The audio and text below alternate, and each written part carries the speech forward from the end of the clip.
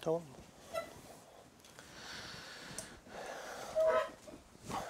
Hepiniz hoş geldiniz arkadaşlar. Ee, yaklaşık iki saat boyunca e, belki bir kısmınızın duyduğu, bir kısmınızın da ilk kez duyacağı Enegram adı verilen, e, Türkçe'ye de 9 mizaç veya 9 kişilik modeli olarak e, çevirdiğimiz bir model ve bu model üzerinden e, ilişkilere ve iletişime e, yaklaşım üzerinde bir değerlendirme yapacağız. E, kelime e, Yunanca bir kelime ama e, bütün e, insanlığa ait bir e, model. Bu modelin e, temel önermesi insanların doğuştan e, belli bir psikolojik yapıyla dünyaya geldikleri ve belli bir e, farklılık taşıdıkları üzerine kurulu. E, bununla ilgili tarih boyunca çok tartışmalar yapılmış. E, insanlık tarihine baktığımızda öncelikle felsefe tarihine son 100-150 yılda, yıldır da e, psikoloji tarihine baktığımızda en çok sorulan sorulardan bir tanesi herkes dünyaya psikolojik olarak, psikolojik donanım olarak aynı şekilde mi dünyaya gelir yoksa daha farklı şeyler var mıdır? E, bu soru hep sorulmuş. Ve 1950'lerden itibaren de e, modern psikolojide çocuklarda mizaç çalışmaları yapılmış. Hatta bunlardan bir tanesi 20 yıl boyunca sürmüş. Bebekleri ilk çocukluk, bebeklik e, anlarından itibaren gözlemlemişler. Bu gözlem ve analiz ta 21 yaşına kadar sürmüş. E, ve bunun sonucunda e, 1977'de bir yayın yapılmış. E, bu iki araştırmacı e, şu sonuca varmışlar. E, bebeklerin hepsi bir değil. Aslında böyle birden çok çocuğu olan anneler veya iyi gözlem yapan anneler veya böyle çocuk e, anaokullarında, yuvalarda e, gözlem yapan insanlar veya herhangi bir insan iyi bir gözlem yaptığında şunu görecektir ki aslında çocuklar aynı değiller. Ne olarak aynı değiller? Mesela hareketlilik olarak aynı değiller. Bazı çocuklar daha hareketli, bazı çocuklar daha sakin.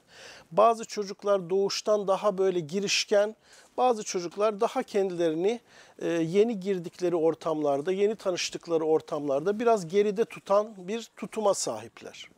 Bazı çocuklar daha konuşkan, bazı çocuklar biraz daha sessiz olma eğiliminde.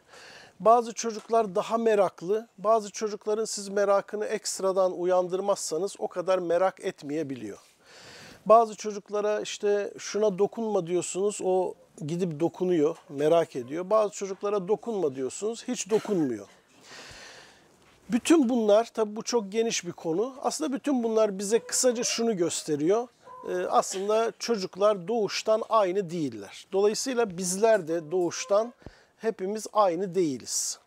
Farklı bazı yapılarla dünyaya geliyoruz. Nasıl biyolojik olarak bir bedenimiz var, birbirimizden farklı yüzlerimiz var, birbirimizden farklı parmak izlerimiz var. Tıpkı buna benzer bir şekilde doğuştan itibaren de psikolojik anlamda birbirimizden e, nispeten farklı bir yapıyla dünyaya geliyoruz. Dolayısıyla e, aslında hepimiz e, aynı yaklaşım tarzına, aynı arayışlara, aynı beklentilere sahip olmayabiliyoruz. Bunu dediğim gibi iyi gözlem yapan herkes bilebilir. Bazı çocuklara mesela gülümsersiniz, çocuk da hemen size gülümser. Biraz böyle sıcaklık gösterirsiniz, o da hemen sıcaklık gösterir.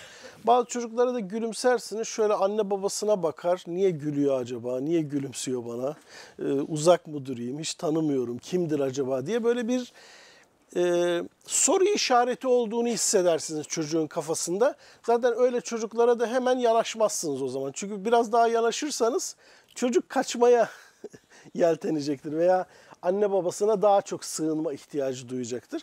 Ama mesela bazı çocuklarda onlara yakınlık ve sıcaklık gösterdiğinizde hemen size benzer bir şekilde bir yakınlık ve sıcaklık göstereceklerdir.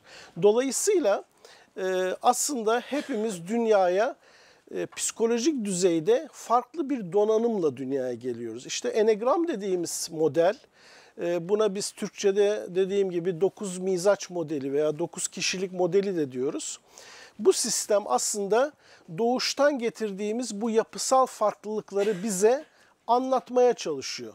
Ve aynı zamanda bunun potansiyel e, risklerini, olumlu özelliklerini, neyi aradığını, hayatta temelde neyi aradığını, nelerden kaçındığını bize anlatıyor. Dolayısıyla aslında enegram modeli bize ne yapıyor? Kullandığımız psikolojik mekanizmanın kodlarını bize öğretiyor. Yani gerçekte en derinde sen ne arıyorsun, nelerden kaçınıyorsun, en temelde yaşayacağın potansiyel risk nedir ve e, hayata hangi kodlarla bakıyorsun? Senin için önemli olan şeyler nelerdir? Bunun üzerinden bir e, yaklaşımı bize e, anlatıyor. Bu aynı zamanda bize neyi sağlıyor?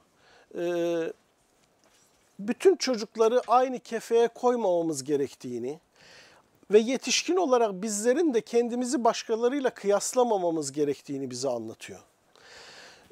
Bazı insanlar deyim yerindeyse doğuştan daha sosyaldir, daha girişkendir, ilişki, iliş, iletişim kurma, ilişki kurma konusunda daha doğal bir yeteneğe sahiptir.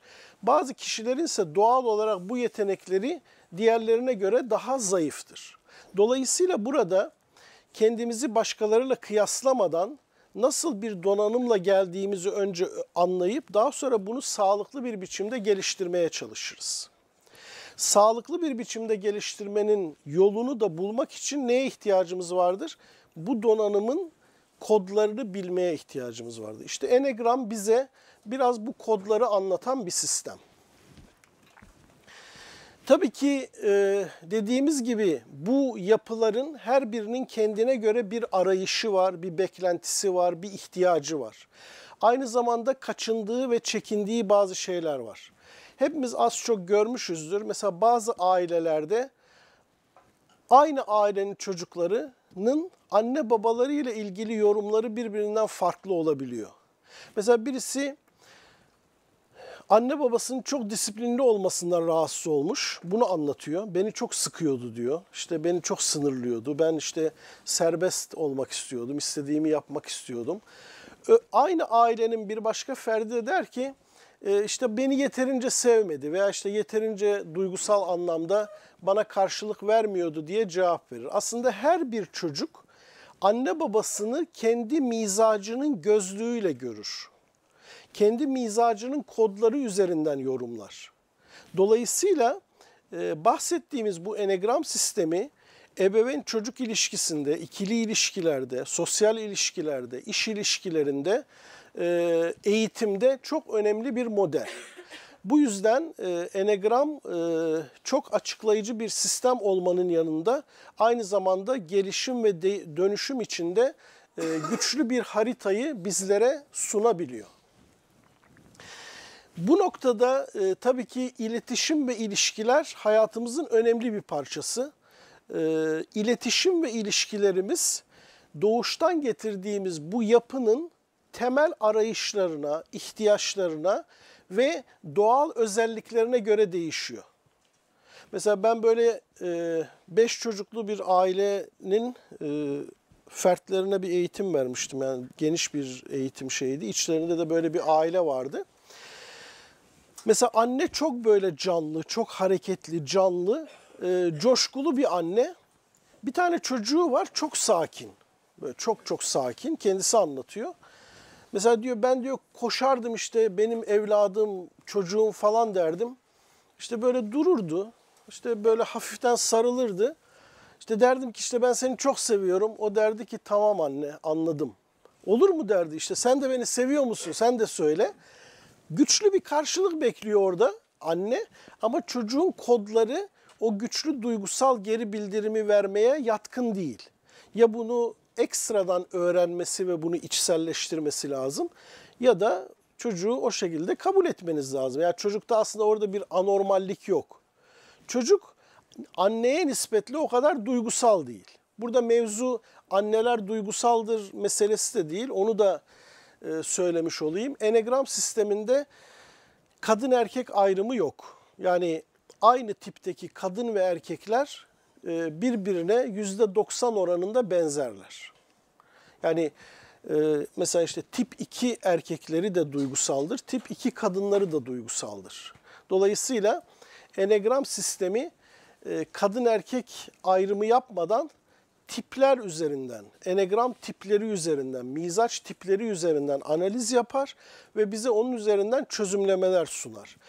Bunu bilmek şunu bize e, hatırlatır. E, bugün bizim böyle çocuklar, gençlerle ilgili yapılmış olan birçok çalışma, yazılmış olan birçok kitap çoğunlukla cinsiyet vurgusu üzerinden ayrımlama yapar. Yani işte kız çocukları duygusaldır, erkek çocukları e, duygusal değildir. İşte e, kız çocukları çok naiftir, hassastır, erkek çocukları işte kavgacıdır, akılcıdır. Aslında bu her zaman e, böyle olmayan bir şey.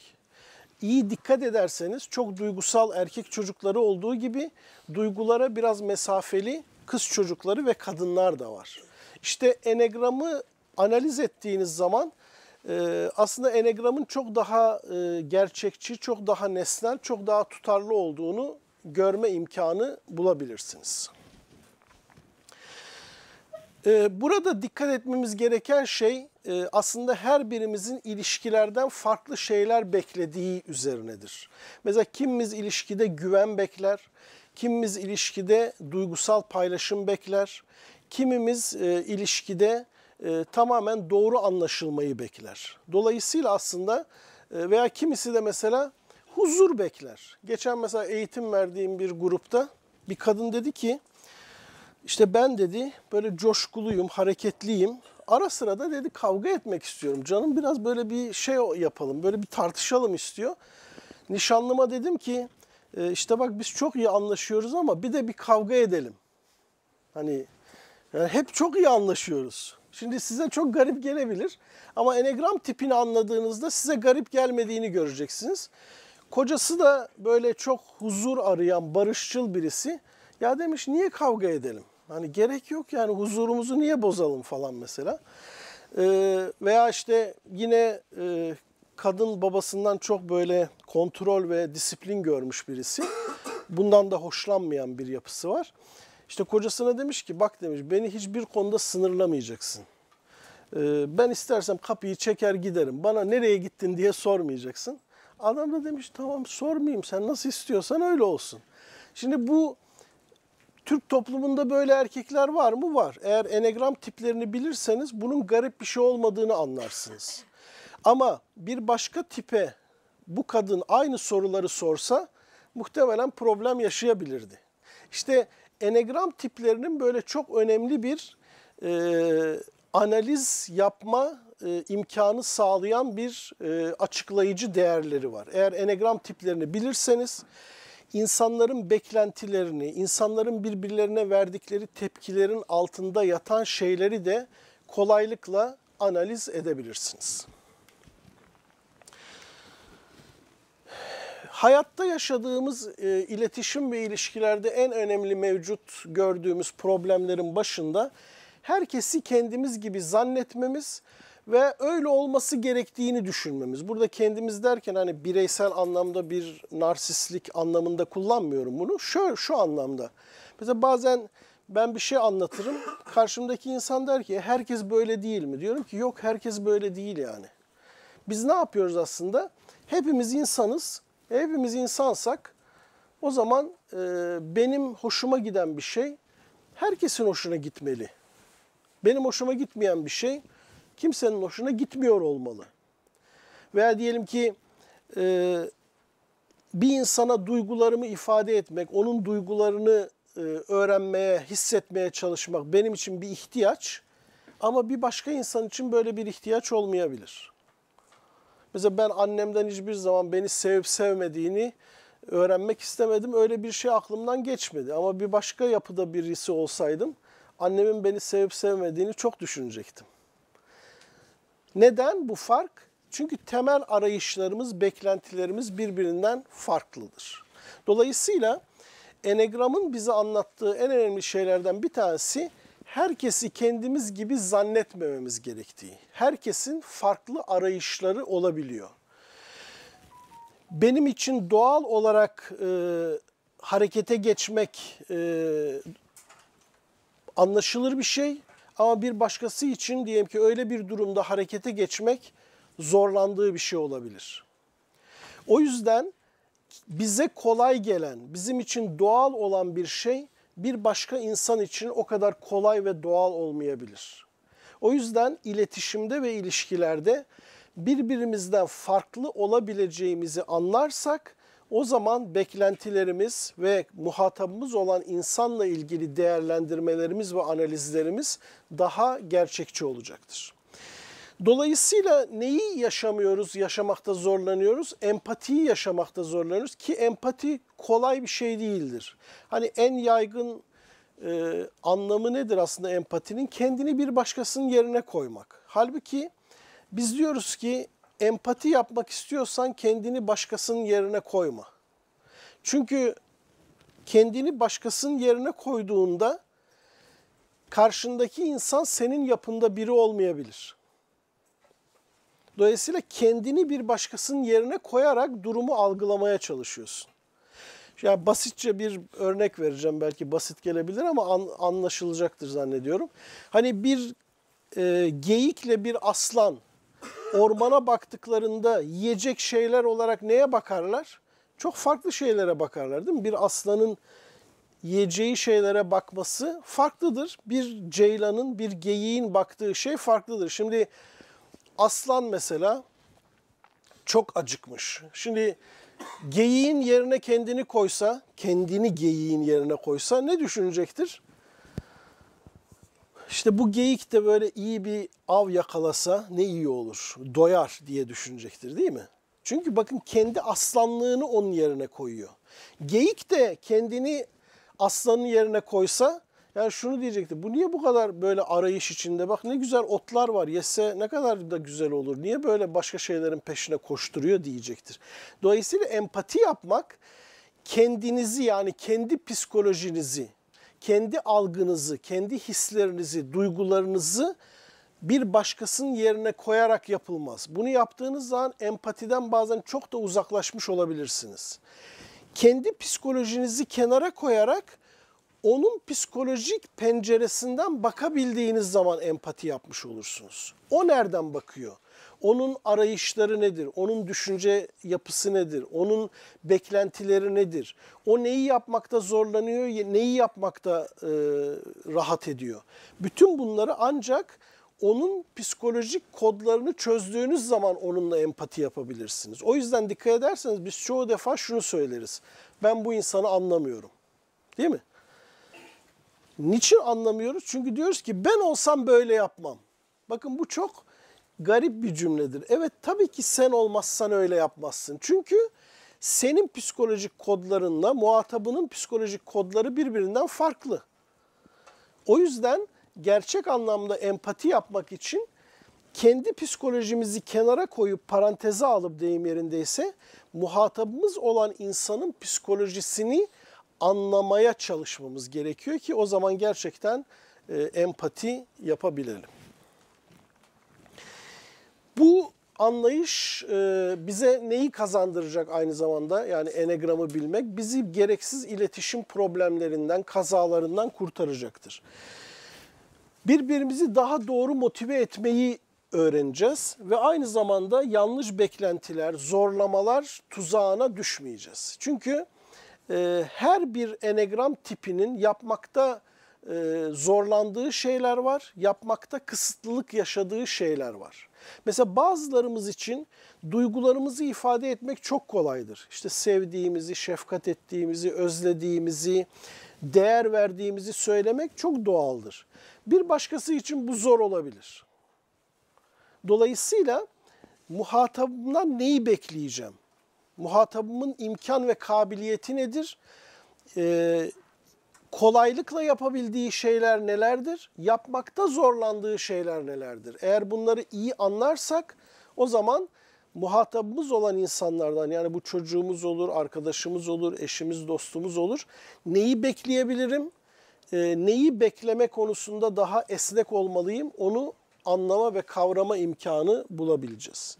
Mesela bazı kişiler için düzenli olmak neredeyse doğuştan getirdikleri bir özellik. Kendimi bildim bileli düzenliyim der. Bazıları da düzenli olmak konusunda zorlanır. Düzenli olmak için çok özel bir çabaya ihtiyaç duyar. Öbürü ise O zaten doğuştan o kodla dünyaya gelmiş. Düzenli zaten. Yani onun düzenli olmak için ekstra bir çabaya ihtiyacı yok. Hatta ona düzensiz ol dediğinizde düzensiz olmakta zorlanabilir. Mesela dağınıklık onu rahatsız eder. Dağınık bir ortamda çalışamıyorum, rahat edemiyorum der.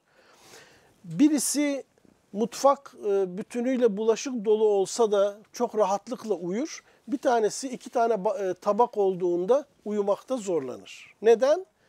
Çünkü farklı arayışlarımız, önceliklerimiz ve beklentilerimiz var. Bu modeli dolayısıyla bilmek bize ne sağlar? Bireysel farklılıklarımızı görmek, sağlıklı gelişim yolunu e, aydınlatmak, engelleri ve kısıtlıkları fark etmek ve e, muhatabımızla e, kurabileceğimiz sağlıklı iletişim kanallarını ve yollarını tespit etmek ve aynı zamanda gerek kendi psikolojimizde gerek muhatabımızın psikolojisinde ortaya çıkmış olası bir kısım potansiyel riskleri görüp bunları olabildiğince minimize etmek.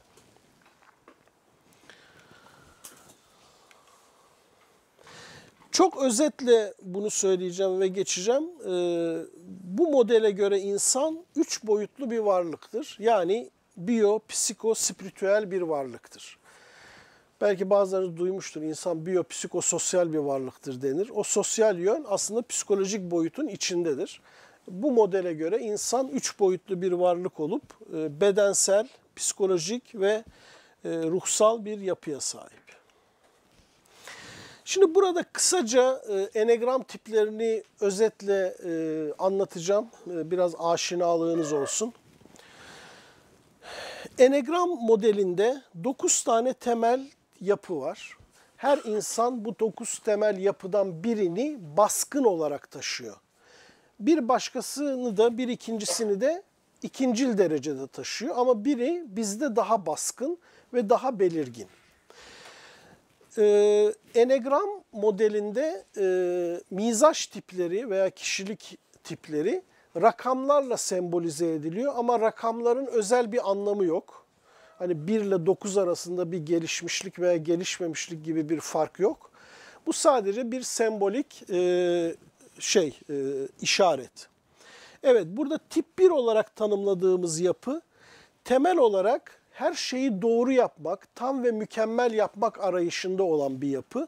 Dolayısıyla da e, mükemmeliyetçi bir tarafı var, kural ve prensip odaklı bir yaklaşımı var ve her şeyin bir kuralı, prensibi, usulü e, olması gerektiğine inanıyor. Dolayısıyla da hayatta daha düzenli olmaya, e, hayatını bir prensip, kural, e, standart e, etrafında yaşamaya daha eğilimli ve aynı zamanda da standartları yüksek ve bu anlamda da hata yapma konusunda e, korku duyan bir yapı. Yani mükemmeliyeti arıyor, hata yapmaktan da korkuyor. Tip 2 olarak tanımladığımız yapı duygusal, yardımsever, destekleyici, şefkatli, merhametli, çabuk hislenen ve çevresinin kendisi hakkında ne hissettiğini bilmek isteyen bir yapı. Hani seviliyor mu, değer görüyor mu, kabul ediliyor mu, ee, onun hakkında ne düşünülüyor, ne hissediliyor bunu çok önemseyen bir yapı. Dolayısıyla da e, ilişkilerini çok önemseyen ve ilişkilerinden olumlu veya olumsuz anlamda etkilenmeye çok yatkın bir yapı. Bu anlamda özellikle e, yakın çevresinin e, kendisi hakkında ne hissettiğini, e, ona değer verip vermediklerini, onun ihtiyaçlarına duyarlı olup olmadıklarını önemsiyor ve buna dikkat ediyor. Kendisi de aynı zamanda muhatabı olan insanlar hakkında ne hissettiğini, onlara verdiği değeri onlara hissettirmeye de yatkın bir yapı. Ve aynı zamanda da e, çevresinin ihtiyaçlarına çok duyarlı. Yani muhatabı olan veya gördüğü bir insanın bir ihtiyacı olduğunu hissettiğinde ona yardım etme güdüsünü doğal olarak taşıyan bir yapı. O yüzden mesela siz tip 2 olan bir insana yardımseverliği öğretme, öğretmek durumunda değilsiniz. Buna öğretmenize gerek yok. Çünkü doğuştan bu kodlarla doğuyor. Hani bazı çocuklar olur böyle dışarıda bir yavru kedi görür eve getirir. Niye getirdin dersiniz? Ya işte üşümüştü, hastaydı falan. Veya diyelim ki birisi ondan bir şey ister ona hayır demekte zorlanır. Neden? Çünkü doğal olarak yardım etmek, çevresindeki insanların ihtiyaçlarına duyarlı olmak kodlarıyla dünyaya gelmiş bir yapı. Tip 3 olarak tarif ettiğimiz yapı ihtiyaçlarını hızlıca belirleyip kendine hedefler koyan ve o hedefler istikametinde e, gayret edip e, sonuca ulaşmaya, başarı elde etmeye yatkın bir yapı ve aynı zamanda kendi kendini motive ediyor. Yani başkalarının kendisini motive etmesine ihtiyaç duymadan kendi kendini motive edebilen bir yapı. Ve aynı zamanda da e, karşılaştığı olumsuzluklara rağmen e, motivasyonunu kaybetmeden hızlı bir şekilde sonuç almaya dönük bir şekilde gayret eden bir yapıya sahip. Ve gerektiğinde de bu süreçte rekabet edebiliyor. Tip 4 olarak tanımladığımız yapı kendini anlamaya çalışan, hayatı, kendini, varoluşu anlamaya çalışan, anlamlı kılmaya çalışan, özgünlüğe duyarlı olan, yani herkesin kendini bulmasını isteyen, herkesin kendi özgünlüğüne ulaşmasını isteyen ve kendi de kendi özgünlüğü ve e, bulduğu anlam üzerinden hayata bir şekilde dokunmak isteyen bir yapı. Bu anlamda hassas, nazik ve kendini tam olarak ifade etmeye ihtiyaç duyan bir yapı. Mesela tip 4 çocuklar bu e, aile ortamlarında bu arayışları karşılanmadığında hayat boyunca e, mutsuz olma riskini taşıyabilirler. Yani işte ailem beni hiç anlamadı, e, hiç e, kendimi anlatamadım, kendimi ifade edemedim, kendimi ifade etmek istediğimde kimse beni anlamadı, dinlemedi gibi e, serzenişlerle e, kendini mutsuz hissedebilir ve eğer bu duyguyu dönüştürmezse ömür boyu bu duygunun etkisinde kalabilir. Tip 5, e, salt akılcı ve mantıklı yaklaşan, derinlemesine düşünen ve bir şeyi bütün ayrıntılarıyla ama salt akılcı bir şekilde analiz eden bir yapı. E, çok iyi gözlem yapar, çok iyi analiz yapar ama e, hayatta gördüğü olumsuzluklara çok fazla müdahaleci olmaz. İyi bir analizcidir, e, iyi bir mantığa sahiptir her şeyin mantıklı, tutarlı, analitik bir şekilde değerlendirmesini yapar. E, akılcı bir yaklaşıma sahiptir. Duygulara biraz mesafelidir. E, duyguların aklı e, bozacağını düşündüğü için e, duygusallığa biraz mesafeli bakma eğilimindedir. Ve böyle bir yaklaşımla e, kendini, hayatı, varoluşu e, analiz etmeye çalışır. Mesela düşünün çok duygusal bir yapı olan iki ile duygulara çok mesafeli olan bir beşin evliliği e, eğer birbirlerinin farklılıklarını kabul etmezlerse ne kadar sürebilir? Mesela bununla ilgili bir örnek hatırlıyorum. Hani kadın sürekli işte tip 2 olarak işte eşinden sevildiğini duymak istiyor. Adam da en son 5-6 sene sonra demiş ki bıkmış kendine göre. Kendine göre bıkmış. Demiş ki yani evlendiğimizde sana sevdiğimi söyledim. Durumda bir değişiklik yok. Dolayısıyla söylememe gerek de yok. Yani hakikaten adamın mantığı açısından baktığınız zaman çok makul. Değil mi? Çok mantıklı yani. Hani evlenince söyledim. Durumda da bir değişiklik yok. Söylememe gerek yok. Değil mi? Ne kadar mantıklı değil mi? Ama o mantık buraya uygun değil. Dolayısıyla bakın aslında arada bir art niyet, bir kasıt, bir kötü niyet olmadığı halde eğer taraflar birbirlerinin farkını anlamazlarsa birbirlerinden fazlaca beklentiye girme tuzağına düşebilirler. Tip 6 zihinsel netlik ve güven arıyor hayatta. Mesela tip 6 çocukları eğer gözlemlerseniz böyle ilk çocukluklarında kendilerine bakım veren ve güvendikleri anne babaya çok bağımlı olduklarını görürsünüz. Yani onlardan ayrılmak onlarda kaygı oluşturur. İkiler ayrıldıklarında üzülürler. e, bir duygusal üzüntü yaşar. Altılar anne babalarından ayrıldığında kaygı yaşarlar. Ne olacak? Hatta bazı altı çocuklarına çok fazla böyle felaket e, senaryoları izletirseniz mesela işte böyle sel, deprem, yangın bu çocuklarda tedirginlik hatta size şunu sorarlar işte anne veya baba bizim e, evi de sel basar mı? Bizim evde yanar mı? İşte bizim e, burada da deprem olursa biz ne yapacağız? Gibi şeyi sorgularlar. Yani güvende miyim? Bir tehlike var mı?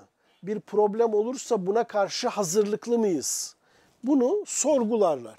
Dolayısıyla temel arayışları netlik, zihinsel netlik ve güvendir. Bu anlamda tedbirli, temkinli ve sorgulayıcı bir yapıya sahiptirler. Şimdi bakın e, tedbirli ve temkinli olmak doğal bir şeydir. Sağlıklı da bir şeydir. Ama tedbir ve temkinli olmak aşırıya kaçırıldığında ne olur? Bir vehim, vesvese ve sürekli gereksiz bir kaygıya dönüşür. İşte enegramın aslında anlatmak istediği şey bu. Yani aslında hepimiz doğal olarak bu dünyaya geldik. Farklı değerler taşıyoruz ama doğal olarak bu dünyaya geldik.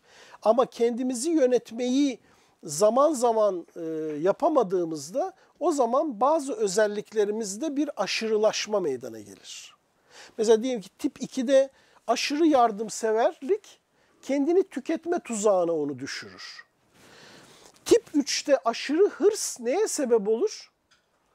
Aşırı işkoliklik ve rekabetçi olup e, ne olursa olsun sonuca gitmek adına insani ilke ve değerlerinden uzaklaşma problemi ortaya çıkarabilir. Dolayısıyla aslında her tipin taşıdığı bir değer var, taşıdığı olumlu özellikler var ama bu özellikler doğru bir şekilde yönetilmediğinde aşırılığa kaçma riskini içinde barındırır. Altıda kalmıştık. Evet ne dedik? Tedbirli, temkinli, sorgulayıcı. Hani kendini güvende hissetmek istiyor. Ne olacağını bilmek istiyor. Netlik arıyor. O yüzden tip altılar belirsizliğe karşı en çok rahatsız olan yapıdır aynı zamanda. Mesela bazı tipler için belirsizlik bir sürpriz de olabilir. Ya bir yere gideceğiz ne var orada bilmiyorum. Ha iyi ya bakarız ne olacak. Belki güzel bir şey olur. Onun kafasında bu bir e, yeni bir deneyim, yeni bir seçenek anlamına gelebilir. Ama bazı tipler için belirsizlik potansiyel tehlike ve risk anlamına gelir. O yüzden bakın her birimizin belirsizliğe bakışı bile birbirinden farklıdır. Mesela bazı kişiler yeni bir yemeği o kadar kolay denemezler. Neden? Çünkü bilmiyor. Ama bazıları gittiği bir ortamda hiç denemediği bir yemeği denemek ister. Neden? Çünkü onun için yeni şeyler, yeni şeyleri denemek, keşfetmek temel bir arayış. Ama bir tip 6 için bildiği bir yerden alışveriş yapmak. Mesela benim böyle bir arkadaşım var. Böyle dünyayı, Avrupa'yı, Amerika'yı gezer. Hep ayrı şeyleri yer. Çünkü bir de hani yabancı bir ülkedesin yok miden bozulur şu olur. O riske girmiyor. Hep garantici. Aynı şeyi yiyor. Hiç riske girmiyor. Bir başka arkadaşsa her şeyi deniyor. Neden? Onun içinde o merak ve yeni şeyleri deneme arayışı var. Dolayısıyla yapılarımızın birbirinden farklılığını kavradığımız zaman birbirimizi daha doğru anlayabiliyoruz. Birbirimizin niye e, o şekilde davrandığını daha net olarak tespit edebiliyoruz. Evet tip 6 böyle. Tip 7 biraz önce de bahsettiğim gibi yeniliği, değişimi seven, neşeli, iyimser, coşkulu ve her şeye merak e, gözüyle bakan. Yani bilinmezlik onun merakını uyandırıyor ve tatlı bir merak duygusuyla da o merak ettiği şeyleri keşfetmeye çalışıyor. Diyelim ki merak etti, denedi, hoş bir şey değil, önemli değil diyor. Denedim ya diyor mesela. Şimdi bazıları diyelim ki hoş olmayan bir şey hadi denedi. Mesela bazılarımız ne der? Keşke denemeseydim, vaktim gitti, şu oldu bu oldu. Ama tip 7 diyor ki Olsun diyor denedim ne olduğunu anladım bu sayede diyor mesela. Şimdi bakın birbirimizden ne kadar farklı yaklaşım tarzlarımız olabiliyor. Tip 7'ler bu anlamda enegram tipleri içinde en iyimser olanların başında geliyor. Yani her şeye pozitif bakıyor. Mesela 7 zayıf getirir, Siz dersiniz ki ne olacak bunlar? Hallederiz der ya ben yaparım der falan. Böyle iyimser bir bakış açısı vardır. Siz böyle tedirgin olabilirsiniz vesaire ama ona göre halledilir. Tabii hallediyor mu o ayrı bir konu. Tip 8 güç odaklı, baskın, e, kendine ait olan alanı koruma konusunda e, çok gayretli e, ve gerektiğinde meydan okuyan, gücünü ortaya koyan, gücünü dayatan ve kendi alanında başkalarının güç ve hakimiyet sahibi olmalarını istemeyen bir yapı. Bu çok sağlıklı olduğunda çok koruyucu, sahiplenici, size cesaret veren bir yapı olur. Mesela Hazreti Hamza böyle biri. Hazreti Ömer böyle biri. Erdoğan böyle biri. Ama mesela sağlıksız örneklerde yok mu? Sağlıksız olduğunda da ne oluyor? Ee, çok yıkıcı kişiler oluyorlar. Mesela diyelim ki işte bir mahallede çete başı olabilir. İşte mafya lideri olabilir. Veya bir ülkeyi e, bir e, maceraya sürükleyebilir. Anlatabildim mi? Yani, işte işte diyorum ya yani e, enegramın zaten ortaya koyduğu bakın en önemli şey şu. Her yapı en doğal halinde çok sağlıklı ve dengelidir. Hiçbirimiz hastalıklı bir şekilde dünyaya gelmiyoruz. Hepimiz doğal ve sağlıklı bir biçimde psikolojik anlamda dünyaya geliyoruz. Ama bu yapıyı yönetemediğimizde, bunu anlayamadığımızda, bunu doğru çözümleyip e, patronu olmadığımızda o zaman bir kısım noktalarda aşırılık tuzağına düşüyoruz. Mesela düşünün merak ne güzel bir duygu değil mi? Ama şimdi her şeye merak duyarsam gereksiz yani yanlış bir şey olur. Her şeye merak duyarsan, her şeyi denersen ne ömrün buna yeter ne de buna gerek vardır. Dediğim gibi tip 8 de aslında hangi doğal donanımlarla dünyaya geliyor? Doğal bir cesareti var. Mesela tip 8 bir çocuğunuz varsa o çocuğa cesareti öğretmenize gerek yok. İşte oğlum cesur ol, evladım cesur ol, hakkını koru demenize gerek yok. Hatta aksine bak hakkını korurken biraz düşün, aşırıya kaçma demenize ihtiyaç var. Çünkü zaten doğal olarak o, o cesaret donanımıyla dünyaya geliyor. Sizin ona öğreteceğiniz şey ne olabilir? Ona sabırlı olmayı, daha sakin olmayı, daha böyle düşünerek hareket etmeyi öğretmeniz gerekir. Zaten o hızlı harekete geçme, hakkını koruma, cesaret, öne çıkma konusunda zaten doğuştan bir yetenekle dünyaya gelmiş. Onun bazı şeyleri kazanmasına ihtiyaç var ve kendisine verilmiş olan o doğal cesareti, kendini koruma güdüsünü sağlıklı bir şekilde yönetmeye ihtiyacı var. Dolayısıyla enegramı bilmek e, bize birçok konuda bir ufuk, bir aydınlık veriyor ve bize e, kılavuzluk yapmış oluyor. Tip 9, son tip. E, dokuzlar huzur ve sükunet ararlar.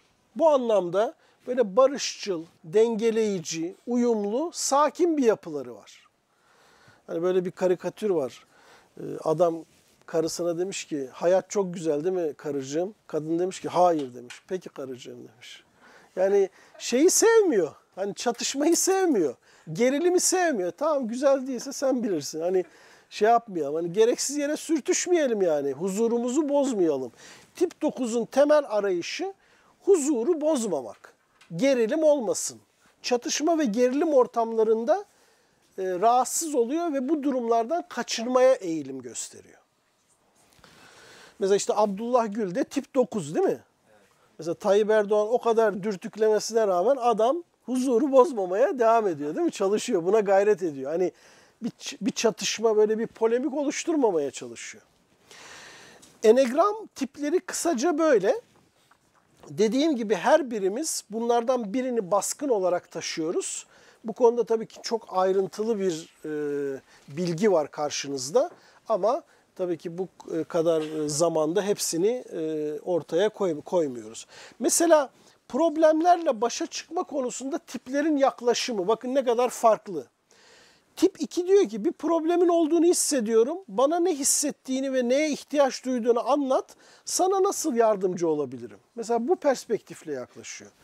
Tip 3 bu problemin verimli ve etkin bir çözümü olmalı. Hemen çalışmaya başlayalım. Hemen pratik anlamda işe girişmeye çalış. Tip 4, senin problemini anlıyorum ama önce birbirimizi anlamalıyız. Ben de gerçekten çok etkilendim. Duygularımı dışarı vurmam gerekiyor.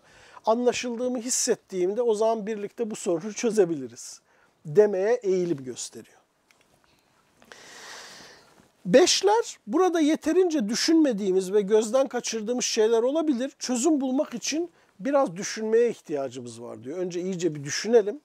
Ondan sonra çözüm buluruz. Altı diyor ki kendimi şu anda kaygı ve baskı altında hissediyorum. Biraz gerginim ama bir takım gibi olup birbirimizi destekleyerek bu sorunu çözebiliriz. Yedi ne diyor? Bir problem olabilir. Sorun etmeden hızlıca en pratik çözümü bulalım. Sonuçta hayat devam ediyor. Kafaya takmaya değmez. Tip 8 ne diyor? Bu problemin kaynağını bulup tüm güç ve enerjimle en hızlı ve kökten şekilde çözeceğim. Hiçbir problem benden kurtulamaz. Tip 9 ne diyor? Ne problemi? Ben burada çözülemez bir problem olduğunu düşünmüyorum. Büyütmeden sakince çözebiliriz. Yani germeyelim kendimizi. Bir problem olabilir ama sakin, rahat olalım diyerek mümkünse çözmeye gayret eder ama e, kendini o kadar e, gergin, kaygılı hissetmeme eğilimindedir. Evet hani dedik ki herkesin baktığı yer farklı. Birisi fanusun yarısı dolu, yarısı boş diyor. Öbürü diyor fanusta iki tane balık var. Şimdi kedinin baktığı pencere değil mi? Farklı. Aslında işte hayatta bu karikatürde olduğu gibi aslında bazen ilişkilerimizde kendimiz çok farklı değerlendirmeler yapıyoruz ama muhatabımızın aslında nereden baktığını bilmediğimizde kendi kendimize e, bir nevi e, gelin güvey olmuş oluyoruz. O yüzden acaba muhatabımız nereden bakıyor? Belki onun ben nereden baktığını da bilmiyorum. Çünkü çoğunlukla da bilmiyoruz. Ama bildiğimizi zannediyoruz ve onun adına niyet okuması ve çözüm üretmeye çalışıyoruz. Halbuki ya bak ben probleme böyle bakıyorum ama sen burada bir problem görüyor musun? Ne kadar görüyorsun? Senin gözünden bu durum nasıl gözüküyor? diye sorarsak aslında muhatabımızla daha iyi bir iletişim kurmuş olabiliriz. Evet burada iletişim önemli bir alan oluyor dolayısıyla insanların ilişkilerinde ve bu farklılıklarımızı dikkate aldığımızda. Aslında iletişimle çok özetle duygu, düşünce ve bilgilerin her türlü yolla bir başkasına veya başkalarına, tekil veya çoğul muhataplara bildirimidir. Temelde aslında iletişimden maksadımız ne? Yani insanlar niye birbirleriyle iletişim içindedir? Burada e, bu temel bir e, nesnel bir ihtiyaç mı? Yoksa aslında psikolojik olarak da bir kısım ihtiyaçlara işaret ediyor mu? Değil mi? Mesela bazen ne olur? Dışarıdan gelir bir kişi, evde olan muhatabına, eşi, dostu, arkadaşı, çocuğu her neyse ona anlatır. Ya işte bugün şöyle oldu, böyle oldu. Aslında bu konuda bir ihtiyaç var mı? Anlatmasına gerek yok değil mi? Nesnel olarak öyle bir ihtiyaç yok. Ama aslında anlatıyor. Peki niye anlatıyor? Çünkü bu sefer orada psikolojik bir ihtiyaç var. Yani aslında paylaşıp hani sen de bil, e, senin de bu konuda bilgin olsun. Bana bu konuda ne diyorsun? Ben öyle düşündüm, öyle hissettim ama doğru mu hissettim? Haklıydım değil mi? İşte insanlar biraz saygısız değil mi? Ben de kızdım. Sence haklıyım değil mi? Burada ne var aslında? İletişimin aslında e, en büyük motor gücü aslında psikolojik ihtiyaçlarımız. Nedir bunlar? Umursanmak, kabul görmek, kendimizi yeterli hissetmek, sevilmek, değerli olmak, bir işe yaramak, bu gibi şeylerle ilgili veya işte fark edilmek, takdir edilmek, bu gibi psikolojik ihtiyaçlarımız nedeniyle aslında iletişim içinde oluruz. Aslında bunların hepsinin bağlandığı nokta nedir? Kendimizi bir başkasının aynasında görmek ve onun üzerinden var olduğumuzu hissetmek. Aslında insanın bilinçaltında böyle güçlü bir var olma arzusu. Aslında var olduğunu unutmuş. Neyle bu sefer var olmaya çalışıyor? İlişki ve iletişim üzerinden var olmaya çalışıyor. Dolayısıyla burada aslında iletişimde ben gerçekte niye iletişim ihtiyacı duyuyorum veya bu iletişimin altında yatan psikolojik ihtiyacım nedir? Mesela diyelim ki ben bir şey biliyorum. Karşımdaki sormuyor, çok merak da etmiyor. Ama diyelim ki ben anlatıyorum. Niye anlatıyorum burada? Bildiğimin bilinmesini istiyorum. Bildiğimin bilinmesinden dolayı kendimi daha iyi hissedeceğimi düşünüyorum. Gibi. Anlatabildim? Yani iletişimin büyük bir kısmı aslında psikolojik ihtiyaçlara dayanır. Nesnel ve gerçek ihtiyaçlara dayanmaz bir kısmı.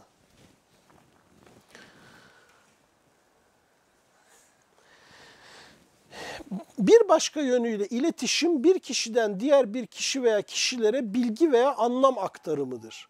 Dolayısıyla iletişim sadece konuşmak değil. İletişim aynı zamanda ne söyleyeceğimizi, bunu en iyi nasıl, ne zaman, nerede söyleyeceğimizi de bilmemizi gerektiriyor. Çünkü bakın iletişim iki şeyi e, içeren bir yaklaşımdır değil mi? İletişimde her zaman iki taraf vardır. Zaten kelime de iki veya çok taraflı anlamında bir kullanılan bir kelimedir. İletişim içinde olmak. Biri ile yani yalnız başınıza yapacağınız bir şey değildir. Bir başkası veya e, başkaları gerekir. Dolayısıyla o zaman neye dikkat etmeniz gerekir? Karşınızdaki insanın buna hazır olup olmadığınız olmadığını bilmenizi gerektirir. Uygun zaman, uygun durum veya diyelim ki ileteceğiniz şey karşı taraf tarafından algılanabilir mi? Yorumlanabilir mi? Fark edilebilir mi? Değil mi? Bunların hepsi aslında dikkatle e, üzerinde durulması ve düşünülmesi gereken şeyler. Biz burada nerede hata yapıyoruz?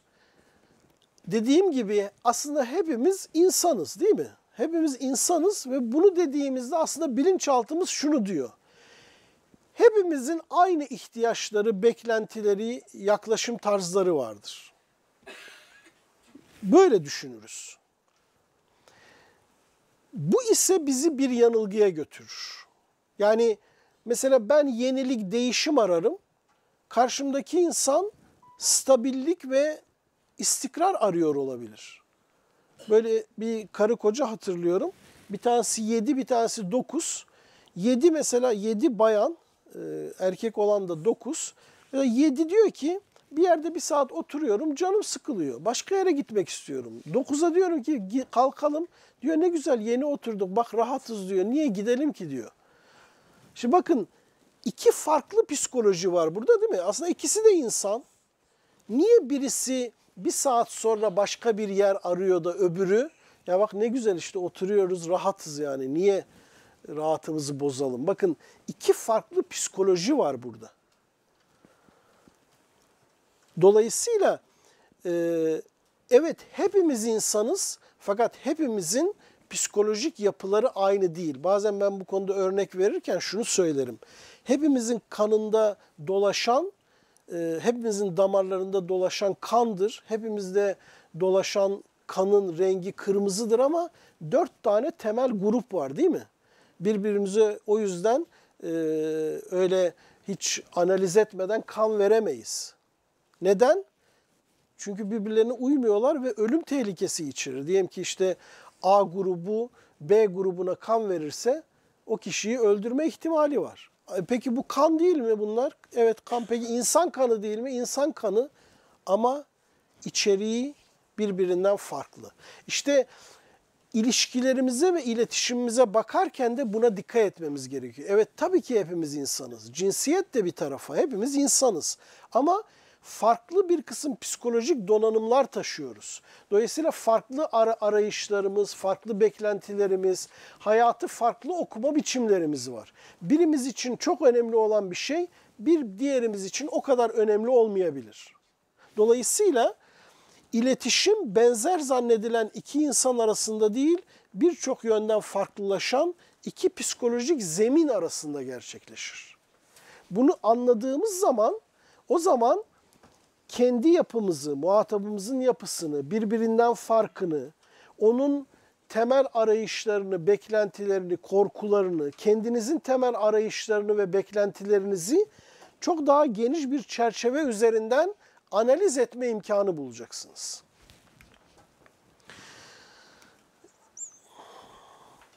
Bunu yapabildiğimizde e, gereksiz olan birçok iletişim problemini de aşma imkanı bulabiliriz. Yoksa birbirimize e, bu sefer e, alttan alta ima ederek, alttan alta niyet okuyarak e, yanlış bir iletişimin tuzağına birlikte düşme ihtimalimiz vardır.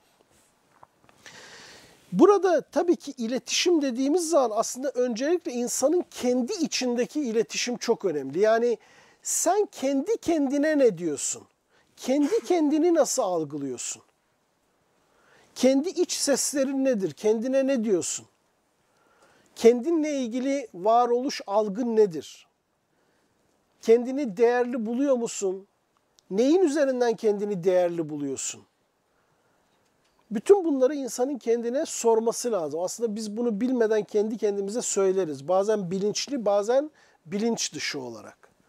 Dolayısıyla insanın öncelikle kendi kendisiyle iletişimini gözden geçirmesi her şeyden önemli. Yani bir insanın ben neleri düşünüyorum, neleri hissediyorum, kişisel ihtiyaçlarım nedir, ee, kendi değerimi ne olarak görüyorum, ee, kendi iç dünyamı yeterince gözlemliyor muyum?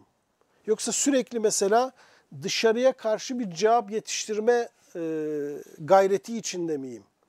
O arada benim içimde oluşan korkular nelerdir? Bunların farkında mıyım? Dolayısıyla insanın kendi kendiyle olan o iç iletişimini çok sağlıklı bir biçimde yapması gerekir. Neden? Çünkü kendi içimizde de birçok farklı duygu, düşünce ve davranış kalıbının çatışması vardır. Yani biz evet görünürde tek bir bedene, tek bir isme sahibiz ama içimizde bazen birbirinden farklı birçok düşünce, duygu ve davranış kalıbı işliyor olabilir. Mesela işte bu Formula 1'in kurucusu Mesela bir tarafı diyor ki güzelim pisti feda edemezsin. Bir sürü paran var zaten. Öbür taraf diyor ki daha çok para, daha çok para, daha çok para. Şimdi kendi içinde bir çelişki yaşar değil mi insan birçok noktada? Mesela diyelim ki bir insana yardım edeceksin. Bir taraftan yardım etmek isteyen bir benliğin var. Bir taraftan da ya başkaları yardım etsin e, diyen bir benliğin olabilir. Dolayısıyla kendi içimizdeki e, farklı düşünce, duygu ve davranış kalıplarının farkına varıp onları analiz edip e, dengelemeye ihtiyacımız var. Eğer bunu yapmazsanız iletişiminizde çelişkiler yaşarsınız. Yani muhatap olduğunuz insanlarla ilişkileriniz gelgitli olur. Birbiriyle çelişik mesajlar verirsiniz. Bazen iyi bir tarafınız tutar, onunla davranırsınız. Bazen ters bir tarafınız tutar, ters bir tarafınızda davranırsınız. Eğer onları kendi içinizde dengeleyip tek hale getirmezseniz farklı farklı tepkileriniz olur. Bu da muhatabınızla iletişiminizi problematik hale getirebilir. İçimizdeki e, düşünce, duygu ve davranışlar bazen birbirini besler. Mesela diyelim ki bir tarafımız evde rahat etmek ister, bir tarafımız da gezip dolaşmak ister. Bunlar aslında ikisi de pozitif şeye hizmet eden bir şey. İkisi de sizi rahatlatacak bir şey. Birbirine zıt değiller. Fakat ne yapmanız gerekir? Netice itibariyle birini tercih etmeniz gerekir. Bazen de bir zıtlık oluşur. Yani mesela bir tarafınız muhatabınızla yüzleşmek ister, bir tarafınız çatışmadan kaçınmak ister. Diyelim ki bir tarafınız muhatabınıza size yaptığı yanlışı ifade etmek ister, yüzleşmek ister. Ee, işte bak beni üzdün, kırdın veya bu beni rahatsız etti demek ister. Bir başka tarafınız ise ya şimdi çatışmaya, gerilime ne gerek var der. Eğer siz kendi içinizde bunu dengelemezseniz, tek hale getirmezseniz bu sefer çelişkili reaksiyonlar ver, verirsiniz. Farkına vararak veya varmayarak çelişkili mesajlar verirsiniz. Mesela bir tarafınız yüzleşmek ister ama açıkça yüzleşemez. Bu sefer alttan alta farkında olarak veya olmayarak laf dokundurur. Sonra da muhatabınız der ki sen ne demek istiyorsun? Aç istersen. Yok ben bir şey demek istemiyorum ya. Öylesine konuştum dersiniz. Geçersiniz. Neden? Çünkü içeride gerçek bir farkındalık ve analiz yapmıyorsunuz. İki tane birbirinden farklı yapı. Birisi yaklaşmaya, birisi kaçmaya çalışıyor. O zaman içerideki çelişki çözümlenmediği için dışarıya verdiğiniz mesajlar sağlıklı ve e, uyumlu olmamış olur. Bazen de iki şeyden de kişi kaçınır. Yani kendi içinde taşıdığı, kendi psikolojisinde taşıdığı iki tutumdan da kaçınır. Atıyorum. Örnek buradakini verelim. Mesela hem diş ağrısı, ağrınız gitsin istersiniz hem de dişçiye gitmek istemezsiniz. E bak dişçiye gitmeyeceksen bak dişin ağrımaya devam edecek. Kabul ediyor musun? Etmiyorum. E o zaman dişçiye gidelim. Yok dişçiye de gitmek istemiyorum. O zaman ne yapmış olursunuz? Kendi kendinizi bir kıskaca sokmuş olursunuz ve bu sizin iletişiminizi bozar. Sizin iletişiminizde bir dengesizliğe, bir e, çelişkiye yol açar. Dolayısıyla kendi içimizde önce bir dengeyi veyahut da bir e, uyumu yakalamak zorundayız. Eğer onu yakalamazsak dışarıyla olan iletişimimiz problemli olur. Mesela bir insan kendini sevmiyor. Buradaki kendini sevmeyi narsizm anlamında kullanmıyorum. Yani kendi insani doğasının farkında değil, kendi insani değerlerinin farkında değil ve kendini sevmiyor.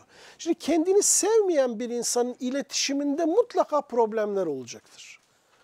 Mesela birisi ona hayır dediği anda bu onu kendisinin sevilmediği olarak yorumlayacaktır. Aşırı reaksiyon verecektir.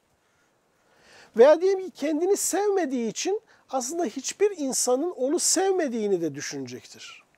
Hatta ben öyle örnekler görmüşümdür. Diyorum ki bak işte annen seni seviyor veya işte bak şu kişi seni seviyor. Hayır diyor aslında sevmiyor diyor. Neden böyle diyor? Çünkü kendisini sevilebilir görmüyor.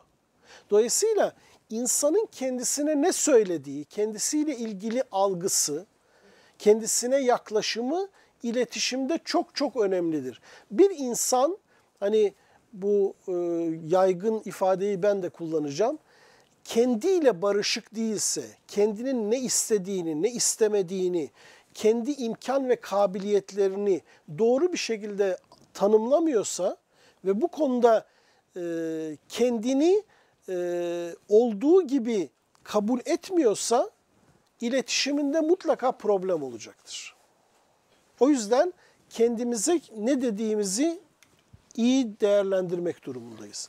Şimdi biraz önce söyledik.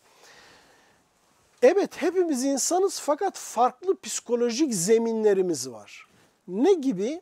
Mesela her birimizin rasyonel analiz, duygusallık, sosyallik, kendimizi ifade etme, değişime yatkınlık, yeniliğe açıklık, yeni durumlara uyum gibi konularda e, birbirimizden farklı eğilimlerimiz var. Mesela bazılarımız vardır, kendini o kadar ifade etme gereği duymaz. Kendini kendine saklar. Çok e, zaruri olan durumlar hariç kendinden bahsetmeyi sevmez ve bu onun için de gayet normal bir şeydir. Bir başkası içinse kendini ifade etmek, ne hissettiğini, ne düşündüğünü karşıya aktarmak ve karşıdakinin de bu konuda ne düşündüğünü, ne hissettiğini öğrenmek bir ihtiyaçtır. Dolayısıyla birbirimizden farklı ihtiyaç ve beklentilerimiz ve farklı eğilimlerimiz var. Mesela evliliklerde çok görürüz. Taraflardan birisi çok sosyaldir, öbürü o kadar sosyal değildir, daha evcimendir. Bu yüzden insanlar gereksiz yere mesela birbirleriyle tartışırlar. Karşı tarafı kendine benzetmek ister her bir taraf. Halbuki buna gerek yok. Farklı sosyallik eğilimlerimiz var. Ben çok sosyal biriyim, eşim o kadar sosyal olmayabilir. Bu illa bir çatışmayı gerektirmez. Bir taraf kendini çok ifade etmek ister, bir taraf kendini o kadar ifade etmek ihtiyacı duymayabilir. Bunları karşılıklı bir şekilde konuşarak bir konsensüs, bir e, doğal bir uyum noktası bulmaya ihtiyacımız var. Birbirimizi yargılamadan. Dolayısıyla farklı düzeylerde duygusallık, farklı düzeylerde sabır, tahammül, farklı düzeylerde hareketlilik ve heyecan arayışımız var. Mesela taraflardan birisinin heyecan ve hareketlilik arayışı daha fazladır, bir diğerinin çok azdır. Bunları doğal kabul etmemiz gerekiyor. Önemli olan şey bu iki farklı yapıyı uyumlu bir hale getirebilir miyiz sorusudur. Dolayısıyla aslında iletişimde böyle e, birbirinden farklı yaklaşımlarımız var. E, mesela yine tip 1'den başlayacak olursa bunları çok özetle anlatıyorum. E, tip 1'de yönlendirici ve kuralcı iletişim vardı. İşte bu böyle olmalı, doğrusu budur, bu böyle yapılmalı, işte akıl ve mantık bunu gerektiriyor şeklinde bir yaklaşım. Tip 2'de destekleyici ve paylaşımcı bir iletişim vardır. Ya bak ben sana yardım etmek istiyorum. Sen nasıl memnun olursun? Sen neyle mutlu olursun? Karşıdakinin ihtiyaç ve beklentilerine duyarlı bir iletişim tarzı vardır. Ve aynı zamanda kendisine de bu şekilde yaklaşılmasını bekler. Tip 3'te hızlı ve motive edici bir iletişim vardır. Yani işte hızla şunu yapalım, bunu halledelim, e, şu verimli olmak için bunu yapmalıyız. Hep böyle e, hedefe odaklı, motive edici bir iletişim vardır.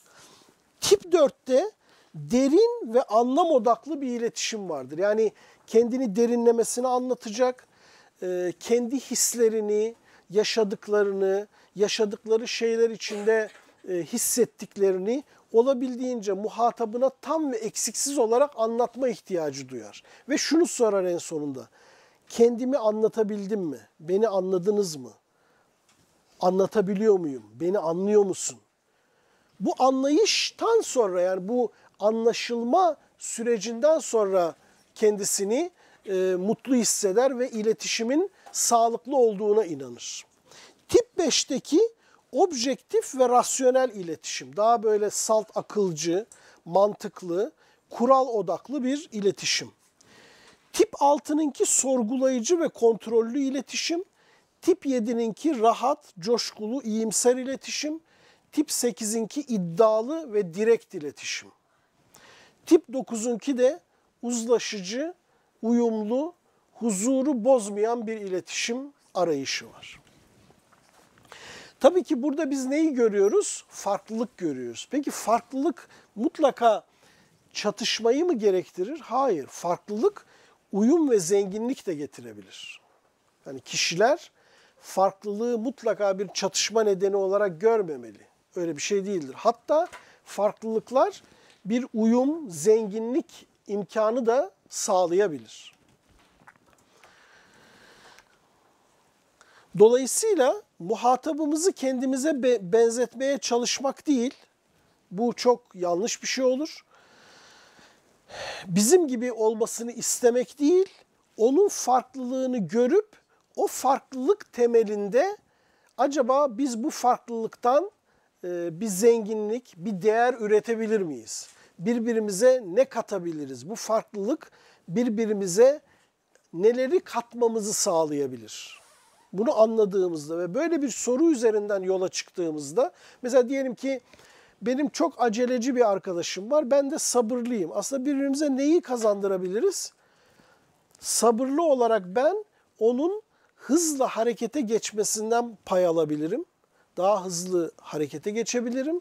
O da benim sabırlı olmamdan bir pay alıp o kadar acele etmenin gereksizliğini kavrayabilir.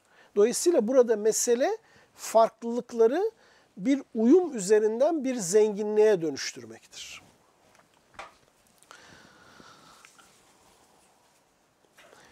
Eğer bunu yakalayabilirsek birbirimize yaptığımız eleştiriler, birbirimizle olan ilişkilerimiz, birbirimizle olan iletişimimiz sürekli bir gerginlik, çatışma, kavga, polemiğe dönüşmeyecektir. Birbirimizi pozitif anlamda beslemeye ve birbirimizin farklılıklarına da saygı duyarak e, onun varoluşuna e, hizmet etmeye bizi götürecektir. Dolayısıyla aslında şunu anlamak gerekiyor. İlişkiler acı ve mutsuzluk yaratmazlar. İçinizde mevcut olan acı ve mutsuzluğun köklerini ortaya çıkarırlar. Yani mesela size şöyle bir örnek vereyim. Mesela insanlarda çok duyarız. İşte bana kendimi değersiz hissettiriyor.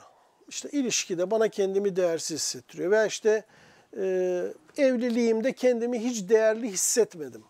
Şimdi aslında bu sanki evlilikte ortaya çıkmış bir sorun gibi gözüküyor değil mi? Peki aslında bu evlilikte ortaya çıkmış bir sorun mu? Yoksa aslında derinde var olan bir sorun mu? Yani kişinin kendini değersiz hissetmesi zaten o kişide var yani. Aslında o evlilikle veya diyelim ki bu arkadaş ilişkisi de olabilir, bir dostluk da olabilir.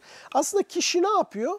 O ilişkiyle ve o iletişimle aslında kendini değerli hissetmek istiyor. Aslında orada temel sorun ne? Bizatihi kendi değerinin farkında değil. Ve kendini o kadar değerli hissetmiyor. Bu sefer temelde var olan bu sorun ilişki sürecinde ortaya çıkıyor. O yüzden aslında ilişkiler bizatihi mutsuzluk oluşturmazlar. Farklı gruplar zamanla birbirini köreltebilir? Olabilir, köreltebilir, mutsuz edebilir. Bazen de aynılıklar da görüyor. İkisi de aynı olunca o da çok... Tabii tabii. Ee, Herkes aynı olalım diyor da tam tersi ikimiz de hızlıysak Tabii mesela bazen benzerlik e, arayışı içinde olur bazı insanlar. Benzer olduklarında e, mutlu olurlar. Bazen de benzer olduklarında rahatsız olurlar. Yani der ki zaten bana benziyor. Ben benden daha farklı bir şey arıyorum. Kendimi geliştireyim, zenginleştireyim. Dolayısıyla aslında ilişkilerde benzerliklerin de uyumu var. Farklılıkların da uyumu var. Bunların zıttı da var. Yani bazen benzerlikler çatışmaya da sebep olabilir. Farklılıkların çatışmaya sebep olduğu gibi. Burada önemli olan şey kişinin kendisine hangi soruyu sorduğu. Yani sen ne arıyorsun?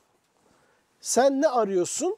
Ve senin temel arayışınla muhatabının imkan ve kabiliyeti birbiriyle örtüşüyor mu? Tabii ki burada dikkat etmemiz e, gereken temel bir şey var.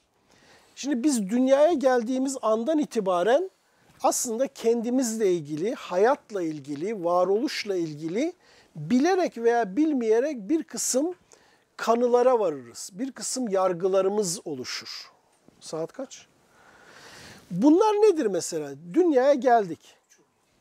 Dünyaya geldik. Mesela ailenizde mesela reddedilme hissi yaşamış olabilirsiniz. Bu illa böyle çok büyük bir reddedilme anlamında bunu kullanmıyorum. Mesela diyelim ki annenizden babanızdan bir şey istediniz.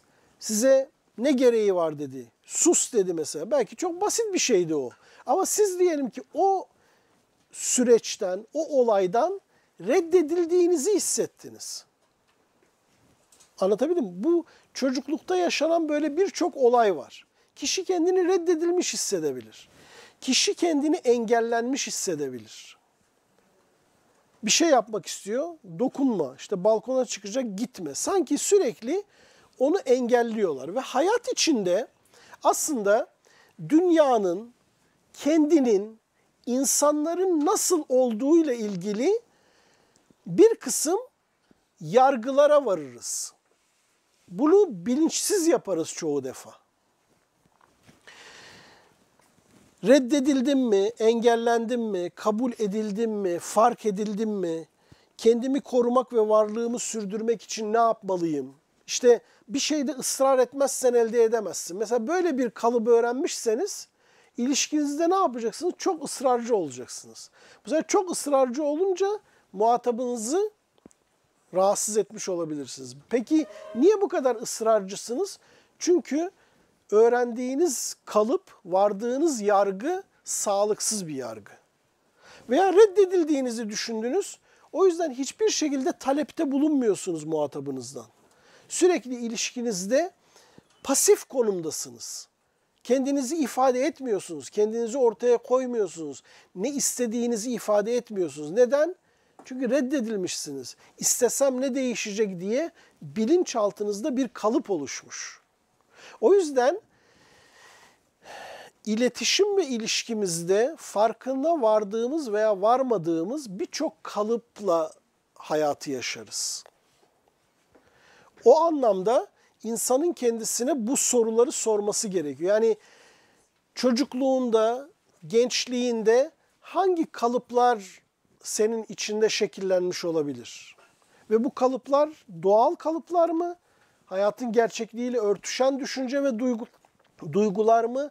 Yoksa doğal olmayan düşünce ve duygular mı? Mesela ben çok böyle genç, orta yaşlı insandan duymuşumdur. Diyorum niye anlatmıyorsun? Diyor kimse beni anlamaz ki diyor mesela. Neden diyorum? İşte falan anlamadı diyor. Ailem diyor beni anlamadı zaten. E diyorum ailenin anlamamış olması hiç kimsenin seni anlamayacağı anlamına gelmiyor. En yakının anlamaz, uzağındaki biri anlayabilir. Gibi. Dolayısıyla aslında bu noktada kendimizi ve dünyayı anlamlandırma sürecimizde, insanlara ve ilişkilere yaklaşımımızda birçok ön yargı bizim iletişim ve ilişkimizi bozabilir, bozuyor olabilir. Bunlara dikkat etmemiz gerekiyor. Eğer böyle gerçek dışı kalıplar, ön yargılar varsa bunları gözden geçirip bunların artık bize bundan sonra engel olmamasına çalışmak gerekiyor.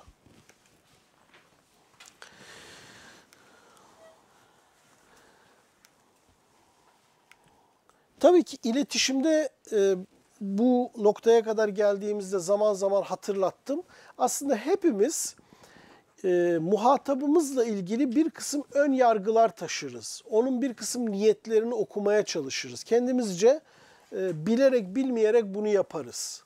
Halbuki bu iletişimde e, ilişkiyi bozan bir e, niteliktir. Yani karşındaki insanın tam olarak ne hissettiğini, ne düşündüğünü e, yüzde yüz biliyor musun diye kendimize sormamız gerekiyor. Bilmiyorsanız, bilmiyoruz çoğunlukla ki, e, niyet okumamamız gerekiyor. Hemen yargıya varmamamız gerekiyor. Mesela işte biliyorum bana değer vermiyor. İyi biliyor musun? Gerçekten sana değer vermediğini iyi biliyor musun? Gerçekten emin misin bundan? Değilsin aslında. Ama sana öyle geliyor.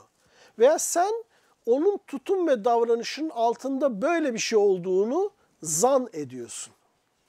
O yüzden olabildiğince iletişimimizde, ilişkilerimizde muhataplarımızla ilgili olarak olabildiğince niyet okumamaya, satır arası okumamaya gayret etmemiz gerekiyor.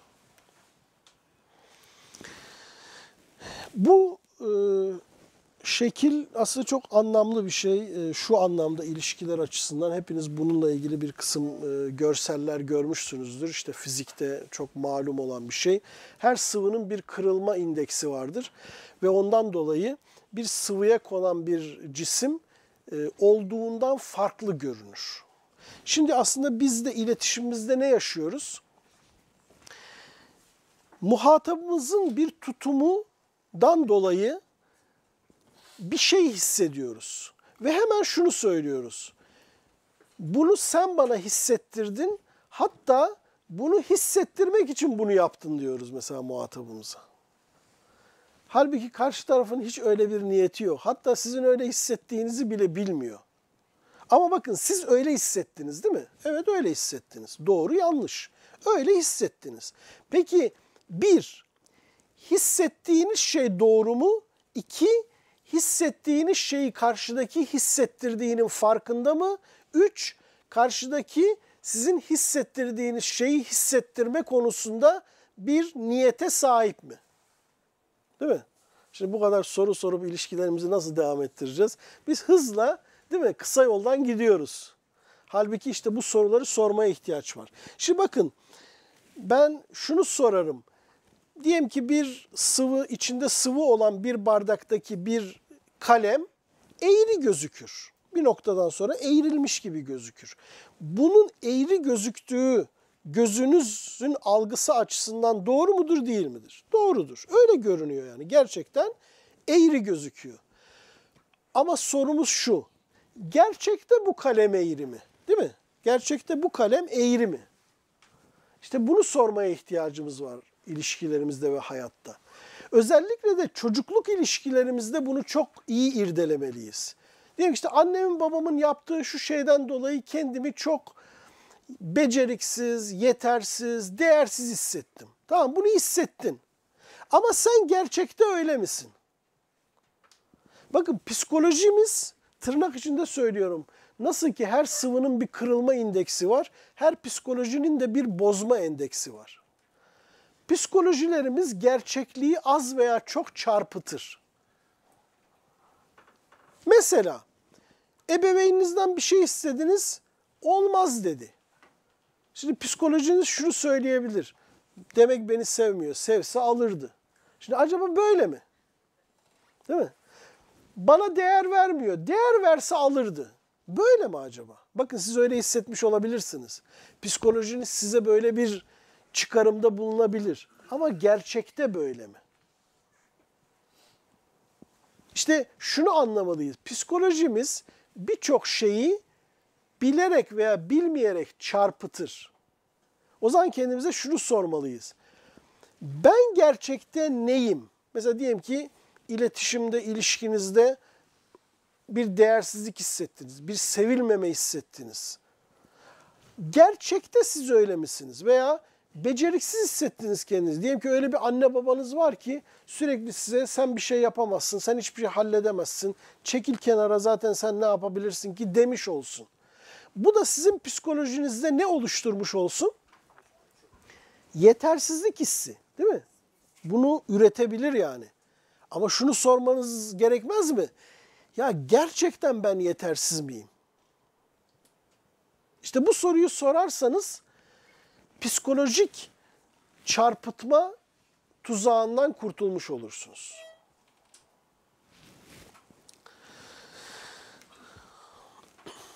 Evet. Dolayısıyla e, muhatabımızın tutumlarını değerlendirirken şunları dikkate almalıyız. Muhatabımızın söz muhatabımın söz ve tutumunu gerçekten olduğu gibi mi algıladım? Gerçekten onun kastettiği. Mesela işte sana alamam. Demek beni sevmiyorsun. Bak o öyle demedi. Sana alamayacağını söyledi. Değil mi? Bakın farklı. Bir başka soru. Söz ve tutumu doğru anlamlandırdım mı? Bir başka soru. O onun tutumundan dolayı yaşadığım rahatsızlığın farkında mı? Mesela bunu sormazsak hemen şu tutuma bürünüyoruz. Kendimi yetersiz hissetmemin suçlusu sensin diyoruz. Halbuki belki o sana kendini yetersiz hissedesin diye böyle davranmadı. Onun öyle bir kastı yok. Öyle bir amacı yok. Öyle bir niyeti yok. He, ama yanlış davrandı. Senin psikolojin de diyelim ki onun davranışından ben yetersizim düşüncesini üretti. E peki o zaman şu soruyu sormak gerekir değil mi? O onun tutumundan dolayı yaşadığın rahatsızlığın farkında mı? Değil. Demek ki aslında öyle bir kastı yok. Yanlış davranıyor ama senin hissettiğin şeyi hissettirme kastı yok. Onun maksadı benim üzülmem ya da rahatsız olmam mı? Ya da kendimi yetersiz hissedeyim diye mi bana böyle davrandı? Değil. Ben böyle bazı ebeveyn ilişkileri hatırlıyorum. Çocuğunu çok zorlamış. Çocuk çok zorlandığı için de yapısı zorlanmayı sevmeyen bir yapı. Kendini pasifize etmiş, devamlı kaçmış. Ama orada ebeveynin maksadı ne?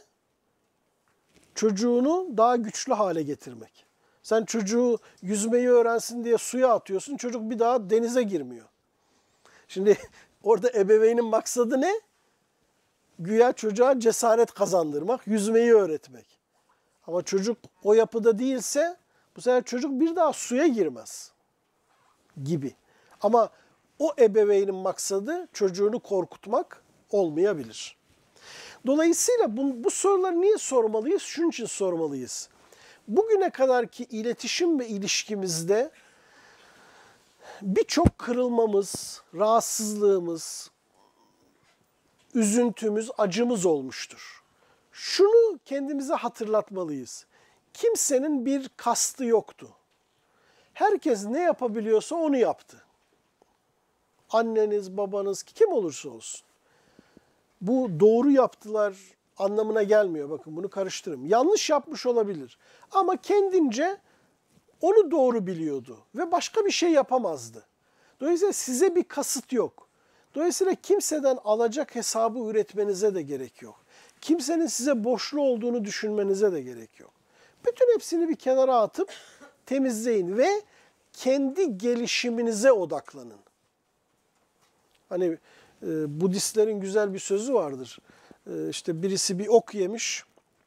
Öğrenci işte hocasına demiş ki efendim e, ben çok düşünüyorum. Demiş neyi düşünüyorsun? Bu oku kim attı? Bırak demiş oku kimin attığını. Oku çıkar demiş. Anlatabildim? Biz sürekli işte atıyorum bu bana böyle yaptı, bu bana böyle yaptı. İşte babam böyle davrandı, annem böyle davrandı, kardeşim böyle davrandı, eşim böyle davrandı. İşte çok samimi bir dostluğumuz vardı, bana böyle kazık attı. Tamam bak bunları bırak. Psikolojik yaranı iyileştir. Bu senin sorumluluğun. Kimse o oku çıkarmayacak. Kimse hissettiğin yetersizlik e, hissinin çözümünü sana sunmayacak. Çözümünü sen bulacaksın. Bugüne kadar kendimi yetersiz hissettim. Bugüne kadar kendimi sevilemez biri olarak gördüm. Ama bu sahte bir algıydı, bir yanılgıydı. Artık bunu değiştireceğim demesi gerekiyor kişinin. Evet. Bir de burada iletişimde ne önemli? Verdiğimiz yanıt.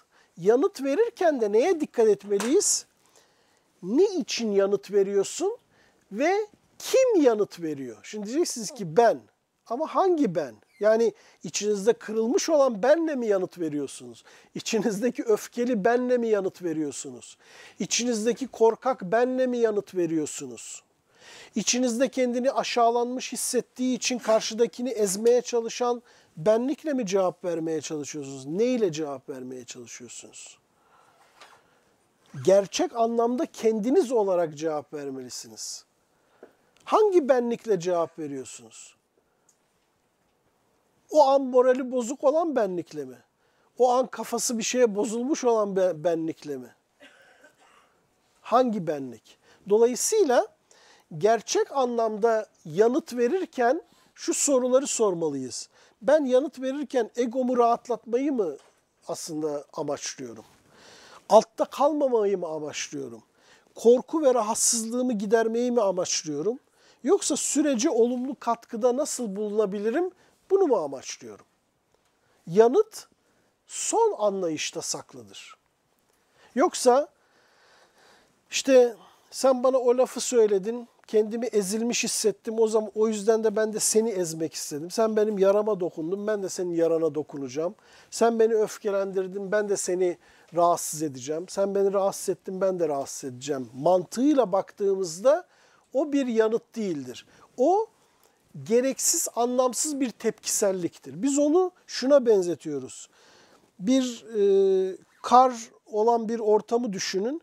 Birisi karşı tarafa bir kar topu yapıp yuvarladı. Ne oldu? Biraz büyüdü, öbür tarafa gitti. Öbürü de yuvarladı, öbür tarafa gitti. Öbürü ona yuvarladı. En son koskocaman bir kar topu iki taraf artık birbirini göremez.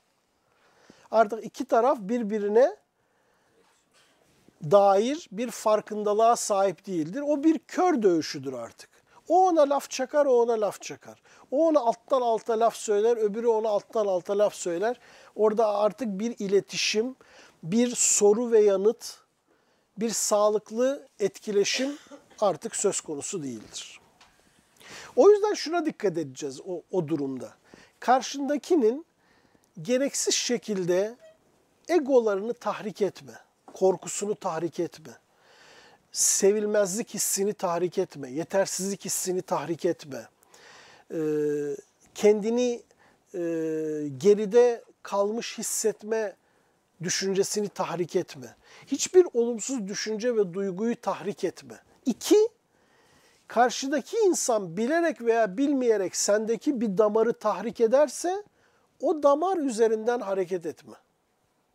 Karşıdaki bilerek veya bilmeyerek senin bir damarına basabilir. Bu bilerek de olabilir, bilmeyerek de olabilir. Bilerek de bassa, bilmeden de bassa sen ona o damar üzerinden cevap verme.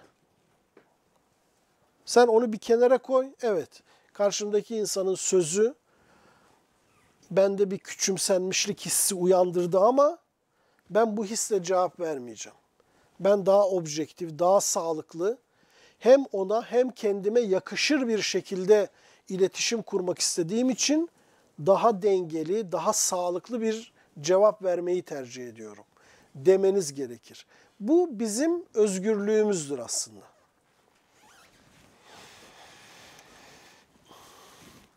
Tabii ki bu anlamda iletişimde en önemli şey aslında birbirimizi dinleme. Gerçekten birbirimizi dinliyor muyuz veya nasıl dinliyoruz? Farklı dinleme biçimleri var. Bazı insanlar görünüşte dinlerler. Bunun çeşitli nedenleri vardır. O an kafalarında başka bir şey olabilir. Ee, karşıdakinin e, söylediklerini değersiz buluyor olabilir. Görünüşte değil. Ben biliyorum, onun ne diyeceğini biliyorum zaten. O yüzden görünüşte dinliyor mesela. Bunun farklı nedenleri olabilir. Yani dinliyor görünürken aklının başka yerde olması. İkincisi seçerek dinleme. Söylenenlerin içinden kendi hoşuna giden veya kendisinin kullanacağı bir şeyi e, dikkate alarak ona göre dinleme. Yani mesela karşıdaki diyelim ki takdir edici cümleler kullanıyor ama aynı zamanda birkaç eleştirel cümle de kullanıyor. Karşı taraf bunu dinlerken seçici dinliyorsa sen benim hep hatalarımı söylüyorsun diyebilir. Halbuki aslında hep hataları söylenmemiş ama ne yapıyor? Seçerek dinliyor, farkında değil. Çünkü şöyle düşünüyor. Şimdi bakalım benim neyimi eleştirecek. Şimdi bu ön yargıyla karşınızdakini dinlerseniz seçici bir şekilde dinlersiniz. O yüzden seçmeden dinleyin. Olduğu gibi dinleyin. Neyse öyle dinleyin. O zaman o daha sağlıklı bir dinleme tarzı olacaktır. Üçüncüsü savunucu dinleme. Yani her söyleneni kendine yönelik bir saldırı veya bir ima veya bir eleştiri olarak algılayıp sürekli savunmaya geçme. Savunmaya geçer bir şekilde dinlerseniz aslında karşıdakini dinleyemezsiniz. Çünkü siz sürekli savunucusunuz. Yani sürekli karşıdakine ne söyleyeceğinizle kafanız meşgul. O yüzden de karşıdaki insanı objektif bir şekilde olduğu gibi dinleyemezsiniz. Çünkü sürekli savunmadasınız. Sanki karşı taraf size bir şekilde saldıracak, ezecek sizi, size zarar verecek ve siz de savunma halinde olmalısınız. Eğer böyle bir psikoloji içindeyseniz karşınızdakini dinleyemezsiniz. Bir başka dinleme biçimi tuzak kurucu dinleme. Yani dinlediklerin içinde eksik arama, karşıdakinin boş bıraktığı bir şey üzerinden e, bir suç üretme, bir eleştiri noktası bulmaya çalışma veya karşıdakini yanlış e, şekilde konuşacak şekilde tetikleme, onu tahrik etme. Mesela hı hı tamam. Hı. Alttan alta ne mesajı veriyorsunuz? Ben sana inanmıyorum. Karşıdakini tahrik ediyorsunuz. Değil mi? Ne kadar aslında tuzak kurucu bir dinleme biçimi. Ve karşıdaki tahrik olup zaten sen beni dinlemiyorsun. Yo ben seni bak dinliyorum bir şey dedim mi? E demedim görünür de demedim ama karşıdakine bir tuzak kuruyorsun farkında olarak veya olmayarak. Bir başka dinleme biçimi yüzeysel dinleme. Söylenen kelimeler içinde e, kastedilen anlamı e, anlamak için, kavramak için bir çaba göstermeme. Ya tamam konuş ben seni dinliyorum. Tamam dinliyorum falan. E ne diyorum burada? Ne dedim? Ne demek istedim? Ya işte rahatsız olduğunu söylüyorsun falan filan. Neyden rahatsız oldum? Ya işte bazı şeylerden bak hiç yüzeysel dinliyorsun. Ha bazen bunu kişi kasıtla yapar zannederiz ama kasıtla da yapmayabilir. Yani bazen muhatabımızın dinleme kısıtlılığı vardır. Zorlanıyordur bu konuda. Ha diyeceksiniz ki neden? Mesela ben size örnek vereyim. Çocukluğunda çok fazla böyle tırnak içinde işte eleştirilmiş olan bir tip 7 çocuk genellikle bundan sonraki hayatında insanları yüzeysel dinler. Çünkü kafasında şöyle bir ön yargı oluşmuş olabilir. Birisi eleştirdiği anda onu dinleme. Seni rahatsız edecek. Yüzeysel. Bırak konuşsun. Bırak konuşsun rahatlasın. Peki bu durumda bir insan karşıdakini tam dinliyor olabilir mi? Olamaz. Yani burada bir kötü kasıt aramayın ama karşıdaki sizi yüzeysel dinliyorsa hani bak hani belki kendimi anlatamıyorum veya işte hani birbirimizi daha iyi anlamak için istersen bak ben bazı şeyleri anlatayım sonra sen ne anladığını bana söyle diyerek onu daha derinlemesine dinlemek konusunda teşvik edebilirsiniz. Bu konularda da asla suçlamada bulunmaya gerek yok. Suçlamada bulunmadan karşıdaki insanın sizi daha iyi dinlemesi için bir yol bulmalısınız, bulmaya çalışmalısınız. Evet, sağlıklı iletişimde bu noktada ne söylemek istiyorum? Ne zaman söylersem karşımdaki kişi buna daha açık olur? Nerede, hangi ortamda iletişimi başlatmam daha uygun olur? Sorularını sorup bunlara göre iletişimimizi e, ayarlamak durumundayız. Tabii ki iletişimin önünde birçok engel vardır. Bunların başında korkularımız, ön yargılarımız, duyarsızlık içinde oluşumuz, etiketlememiz, kendimize güvensizliğimiz, alınganlığımız ve sürekli kendimizi öne çıkarmak gibi bir kısım e, yanlış tutumlarımız olabilir. Her birimiz gerek kendimizde gerek muhatabımızda iletişimin önünde bu engelleri gördüğümüzde bunları dönüştürme yolunda pozitif çaba harcamalıyız. Suçlayıcı olmadan. Yapılan bir kısım araştırmalar tabi bunları böyle çok e, yüzde yüz kesin olarak veya hani her durumda sabit bir değer olarak görmeyin. Beden dilinin en az yüzde elli etkili olduğu söylenir. Yani iletişimde beden dilimiz e, yüzde elli etkilidir. Ses tonumuz e, üçte bir etkilidir. Geriye kalan yüzde on, on beşte sözlerimizin etkisidir iletişimde. Dolayısıyla aslında insanın beden dilini, ses tonunu e, dikkatli bir şekilde kullanması iletişimin daha kaliteli olmasına hizmet eder. Çünkü biz konuşmayı durdurduğumuzda da aslında beden dilimiz konuşmaya devam ediyor. Nasıl bir beden diliniz var? E, karşınızdakine mesela duyarlı mısınız? Dikkat ediyor musunuz? E, onun farkında olduğunuzu hissettiriyor musunuz? İnsanlar konuşa konuşa anlaşamıyor. İnsanlar konuşa konuşa e, anlaşmalıdırlar ama e, işte biz konuşmanın dışında bilinçli veya bilinç dışı olarak birçok etkeni de şey yapıyoruz. E, veri olarak kabul ediyoruz.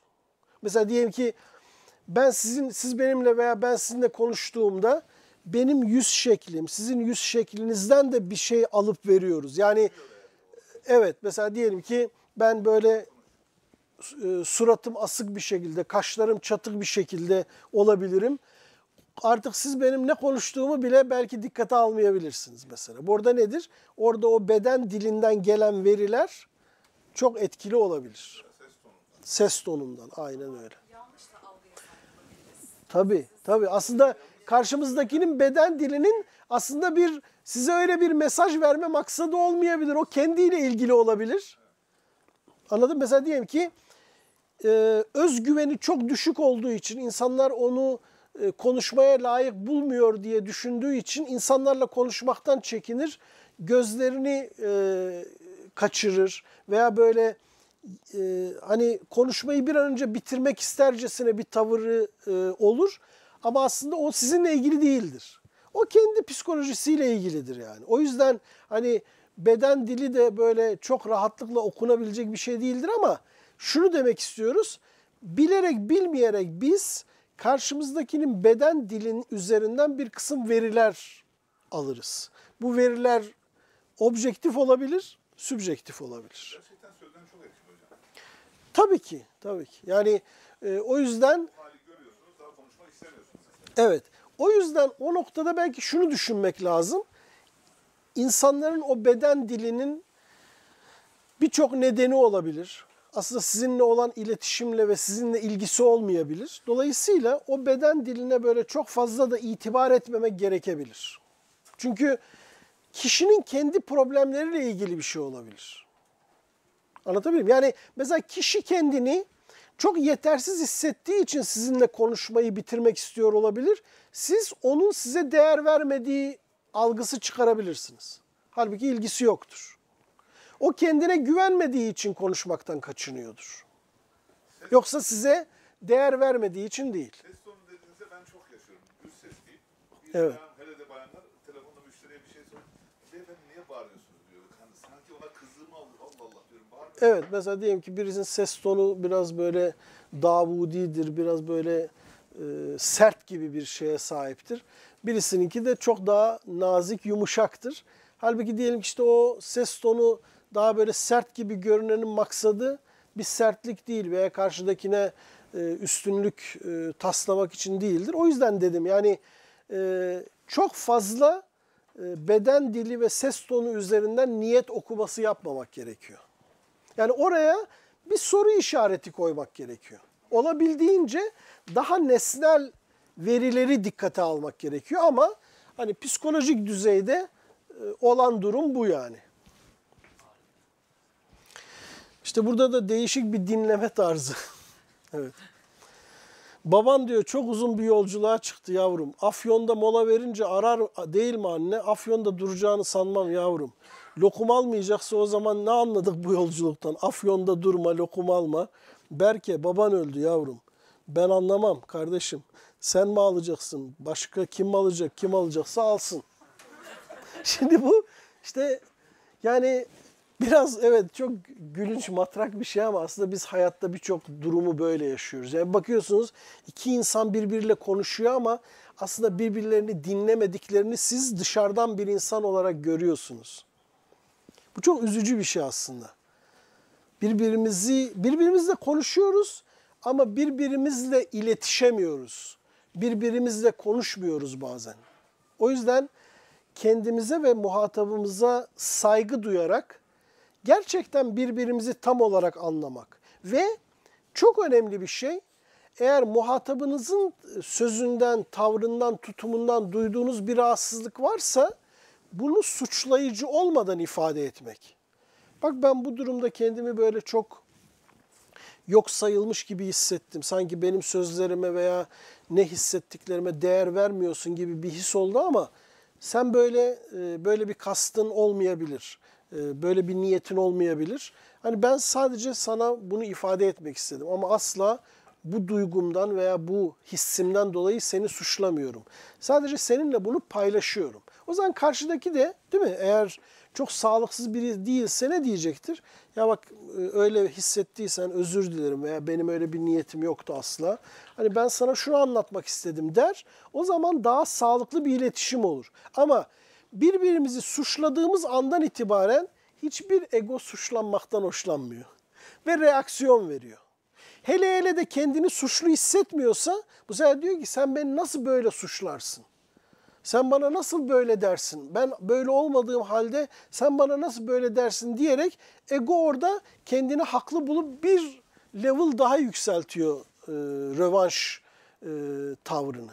Dolayısıyla iletişimde en önemli şeylerden biri olabildiğince karşımızdakine suçlayıcı dil kullanmamak ve niyet okumamak. Niyet okuduğunuzda, suçlayıcı bir dil kullandığınızda karşıdakinin algısını köreltme ihtimali taşıyorsunuz. Çünkü karşıdakiniz, karşıdaki insan böyle yüzde yüz objektif biri değil. Dolayısıyla onu tetiklememeniz gerekiyor. Evet, aslında ilişkilerde, iletişimde ne var? Bir sen var, bir ben var. Aslında bir de üçüncü göz olması lazım. Yani burada neyi kastediyoruz? İki özneye objektif bir şekilde bakan bir göze ihtiyaç var. Bakın çok ilginçtir. İnsanın iki gözü vardır ve iki gözünden gelen görüntüler aslında farklıdır. Çünkü açıları farklı.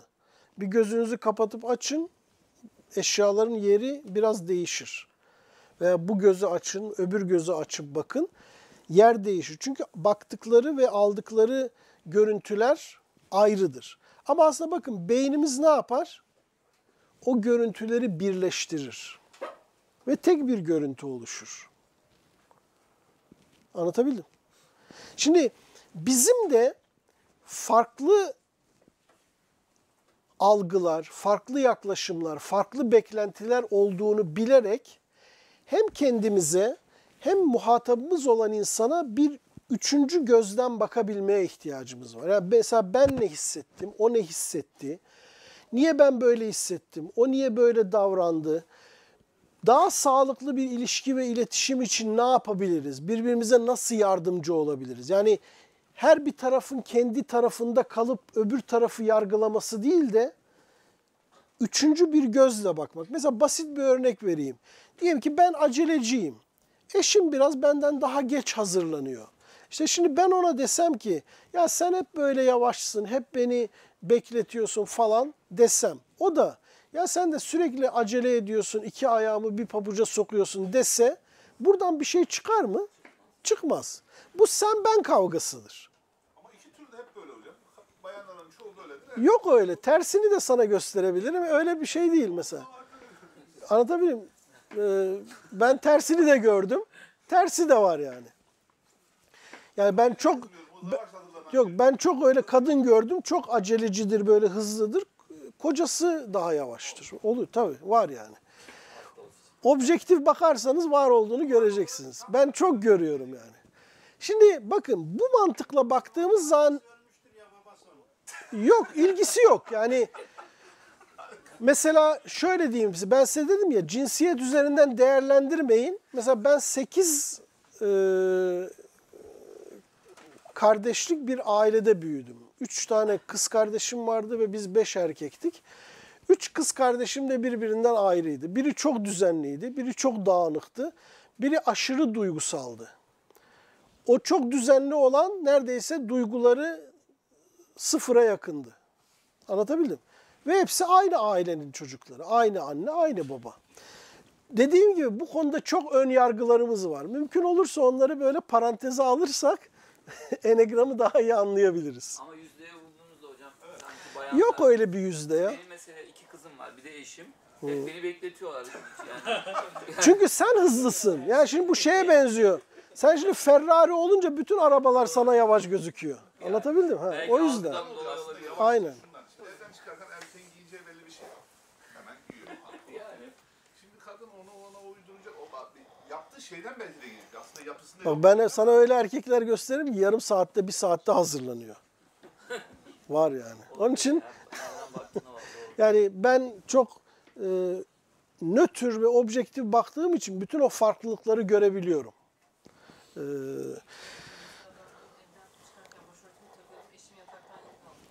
evet. Mümkün. Tabii ben görmüşüm. Hani görmediğim şeyi hiç konuşmam. Bundan emin olun. Bütün söylediklerim e, olaylar üzerindendir yani. Tamamen e, teorik e, bir yaklaşım değil. Tamamen e, pratikte, hayatta gördüğüm, analiz ettiğim şeylerdir. Şimdi diyeceğim mesela o bir tarafın daha hızlı olduğu, bir tarafın ona göre daha yavaş olduğu. Aslında bakın yavaşlık, hızlılık objektif bir şey değil. Biri diğerine göre öyle. Anlatabildim? Şimdi burada neye dikkat etmemiz gerekiyor? Bir üçüncü gözle bakabilmeye ihtiyacımız var. Diyelim ki o acele edenin ne yapması gerekir? Ya ben biraz hızlıyım. Eşim de bana göre, bana göreceli olarak bana göre daha yavaş gözüküyor. Ne yapalım? Ya ben biraz sabırlı olayım. O da biraz elinden geldiğince gayret etsin. Hatta ben ona hazırlanması konusunda eğer arzu ederse yardımcı olayım. Birlikte bu hayatı daha böyle güzel bir şekilde yaşayalım. O zaman ne yapmış oldum? Üçüncü göz ortaya çıkmış oldu. Yoksa ömür boyu işte o beni geciktirdi, o beni aceleye getirdi, o beni yavaşlattı, o beni bekletti. Kavgasından çıkamazsınız. Ben bu böyle diyorum. O da kavga sebep olmuyor. Ya bundan da yavaş alın. Kabul ediyorum diyorsunuz. O da bir yol tabii. Dolayısıyla üçüncü göz ne aslında? Ne kendini ne başkasını yargılamayan, ötekileştirmeyen, anlamaya çalışan, ihtiyaç ve korkularından bağımsız bakabilen ve çözüm bulmaya çalışan bir bakıştır. Hani burada bir sorun var. Burada sen ben değil mevzu. Birlikte ne yapabiliriz? Bu gözle bakmak. Üçüncü göz dediğimiz bu yani. Birlikte ne yapabiliriz? Bu sorunu beraberce nasıl çözebiliriz? Birbirimize nasıl daha uyumlanabiliriz? Birbirimizi nasıl daha geliştirebiliriz? Bu gözle baktığımız zaman işte aslında o Kur'an'ın işte mümin kadınlar ve mümin erkekler birbirlerinin velisidirler manasına ulaşmış oluruz. Dolayısıyla aslında neyi demiş oluyoruz? Mesela ben neden böyle hissediyorum? Daha farklı düşünüp hissedebilme imkanım yok mu? O neden böyle davranıyor? Onun böyle davranması ne anlama geliyor? Onun bu davranışının altında yatan neden nedir gibi sorularla gerçekçi ve sağlıklı bir iletişim kurmak mümkün olabilir. Yoksa öbür türlü sürekli mevzu sen ben kavgasına döner. Evet birkaç karikatürümüz var sonra tamamlıyoruz zaten. Güzel bir karikatür.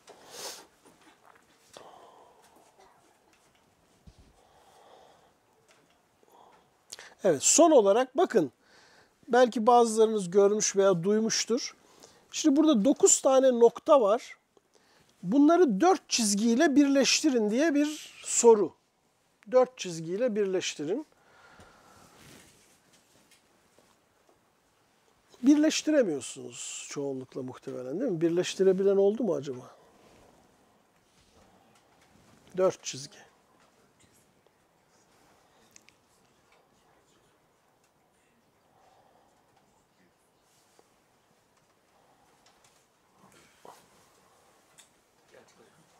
Yaklaştım. Bir tane boşta kaldı.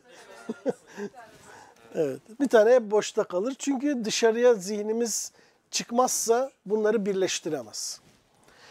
Aslında bakın ben bu çizgili bu noktaların dışına çıkmayacaksınız demedim ama zihniniz Ha evet hep onun üzerinden düşündü. Aslında e, böyle bir sınırı ben koymadım. Bakın onu sizin zihniniz koydu. İşte bunun gibi hepimizin böyle birçok ön yargısı var. O ön yargılar yüzünden aslında birçok meseleyi çözemiyoruz. Mesela ben yapamam, işte ben böyleyim, e, ben kendimi değiştiremem gibi birçok bunun ve bunun gibi birçok ön yargımız vardır. Bu ön yargılar yüzünden birçok sorunu çözemeyiz. Çünkü o ön yargılarla zaten o sorunu çözme ihtimalin yoktur. İşte tıpkı bunun gibi o kafamızdaki ön yargı sınırlarının dışına çıkarak, dışına çıkmak için gayret ederek çözüm bulabilme şansına sahip olabiliriz. Evet, e, son olarak şunu söyleyeyim ama bu tabii ki uzun bir eğitim belki e, ileride devam etme ihtimalimiz olabilir. Son olarak şunu söyleyip bitireyim. Sevgi değer vermek değil, bir değeri fark etmek ve ona duyarlı olmaktır. Bu da önemli bir yanılgının e, fark edilmesini gerektiren bir bakıştır.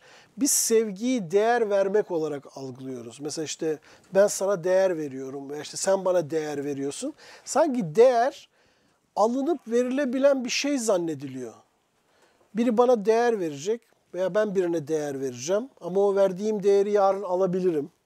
O bana verdiği değeri birisi yıl sonra alabilir. Bunu da sevgi zannediyoruz. Bu çok sahte ve yanlış bir tanım. gerçek anlamda sevgi bir değeri fark etmek ve o değere duyarlı davranmaktır. Evet. Bunu başka bir şey, bu çok uzun bir şey. çok uzun bir şey. Yani çok basit iki cümleyle hatırınız için şey yapayım. Şimdi bir şeyde bir değer varsa o değer fıtratın gereği olarak değerli olarak fark edilir ve ona kişi bir yakınlık hisseder, bir hürmet hisseder ve onun değerine uygun bir duyarlılıkla davranır. Sevgi budur. Dolayısıyla sevgi birinin sana bir değer vermesi, sonra alması gibi bir şey değildir. Kimse bize değer veremez aslında. Bendeki bir değeri fark eder. Bana nasıl değer verecek? Yani bir değeri ve değer vermesi için ne lazım? Bir değerim olması lazım. O değere değer verebilir. Yoksa öbür türlü sana şimdi değer veriyorum. Üç gün sonra kafam bozuldu, değerimi aldım. değeri veren sizsiniz. Ha, tabii. Ay, Ve ve o onun ne bir ölçüsü var ne bir e, objektifliği var. Ben verdim diye derdim. Evet gibi. Halbuki bu yanlış bir şeydir. Yani biri size değer verdi diye kendinizi değerli hissediyorsanız bu kendinize yaptığınız en büyük haksızlıktır. Ve tam tersi hocam değil mi? Tabii ki. Değersizlik atfetmek. Tabii. Anlamı.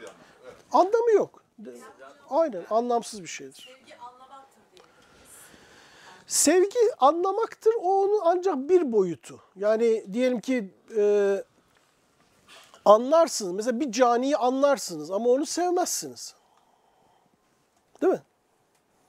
Yani anlamak eşittir sevgi olmaz. Yani tabii ki ama e, oradaki olumsuzluğu anlas, anlatsanız da sevgi duymayabilirsiniz. Belki şefkat duyabilirsiniz. Dolayısıyla hani sevgi mutlaka veya sadece anlamakla sınırlandıracağımız bir şey değil.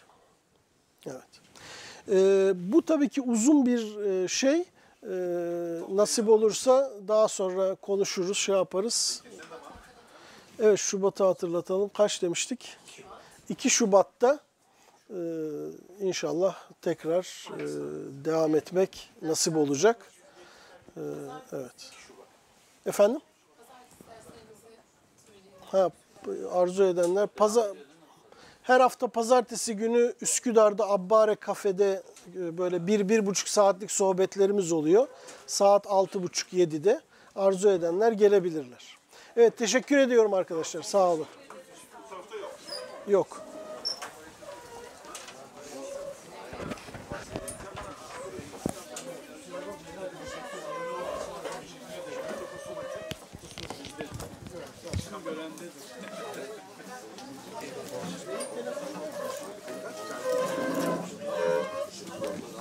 Teşekkür ederiz. Çok faydalandık. Tekrar görüşmek.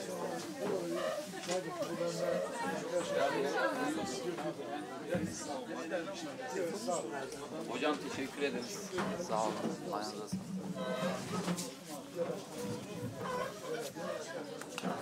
sağlık.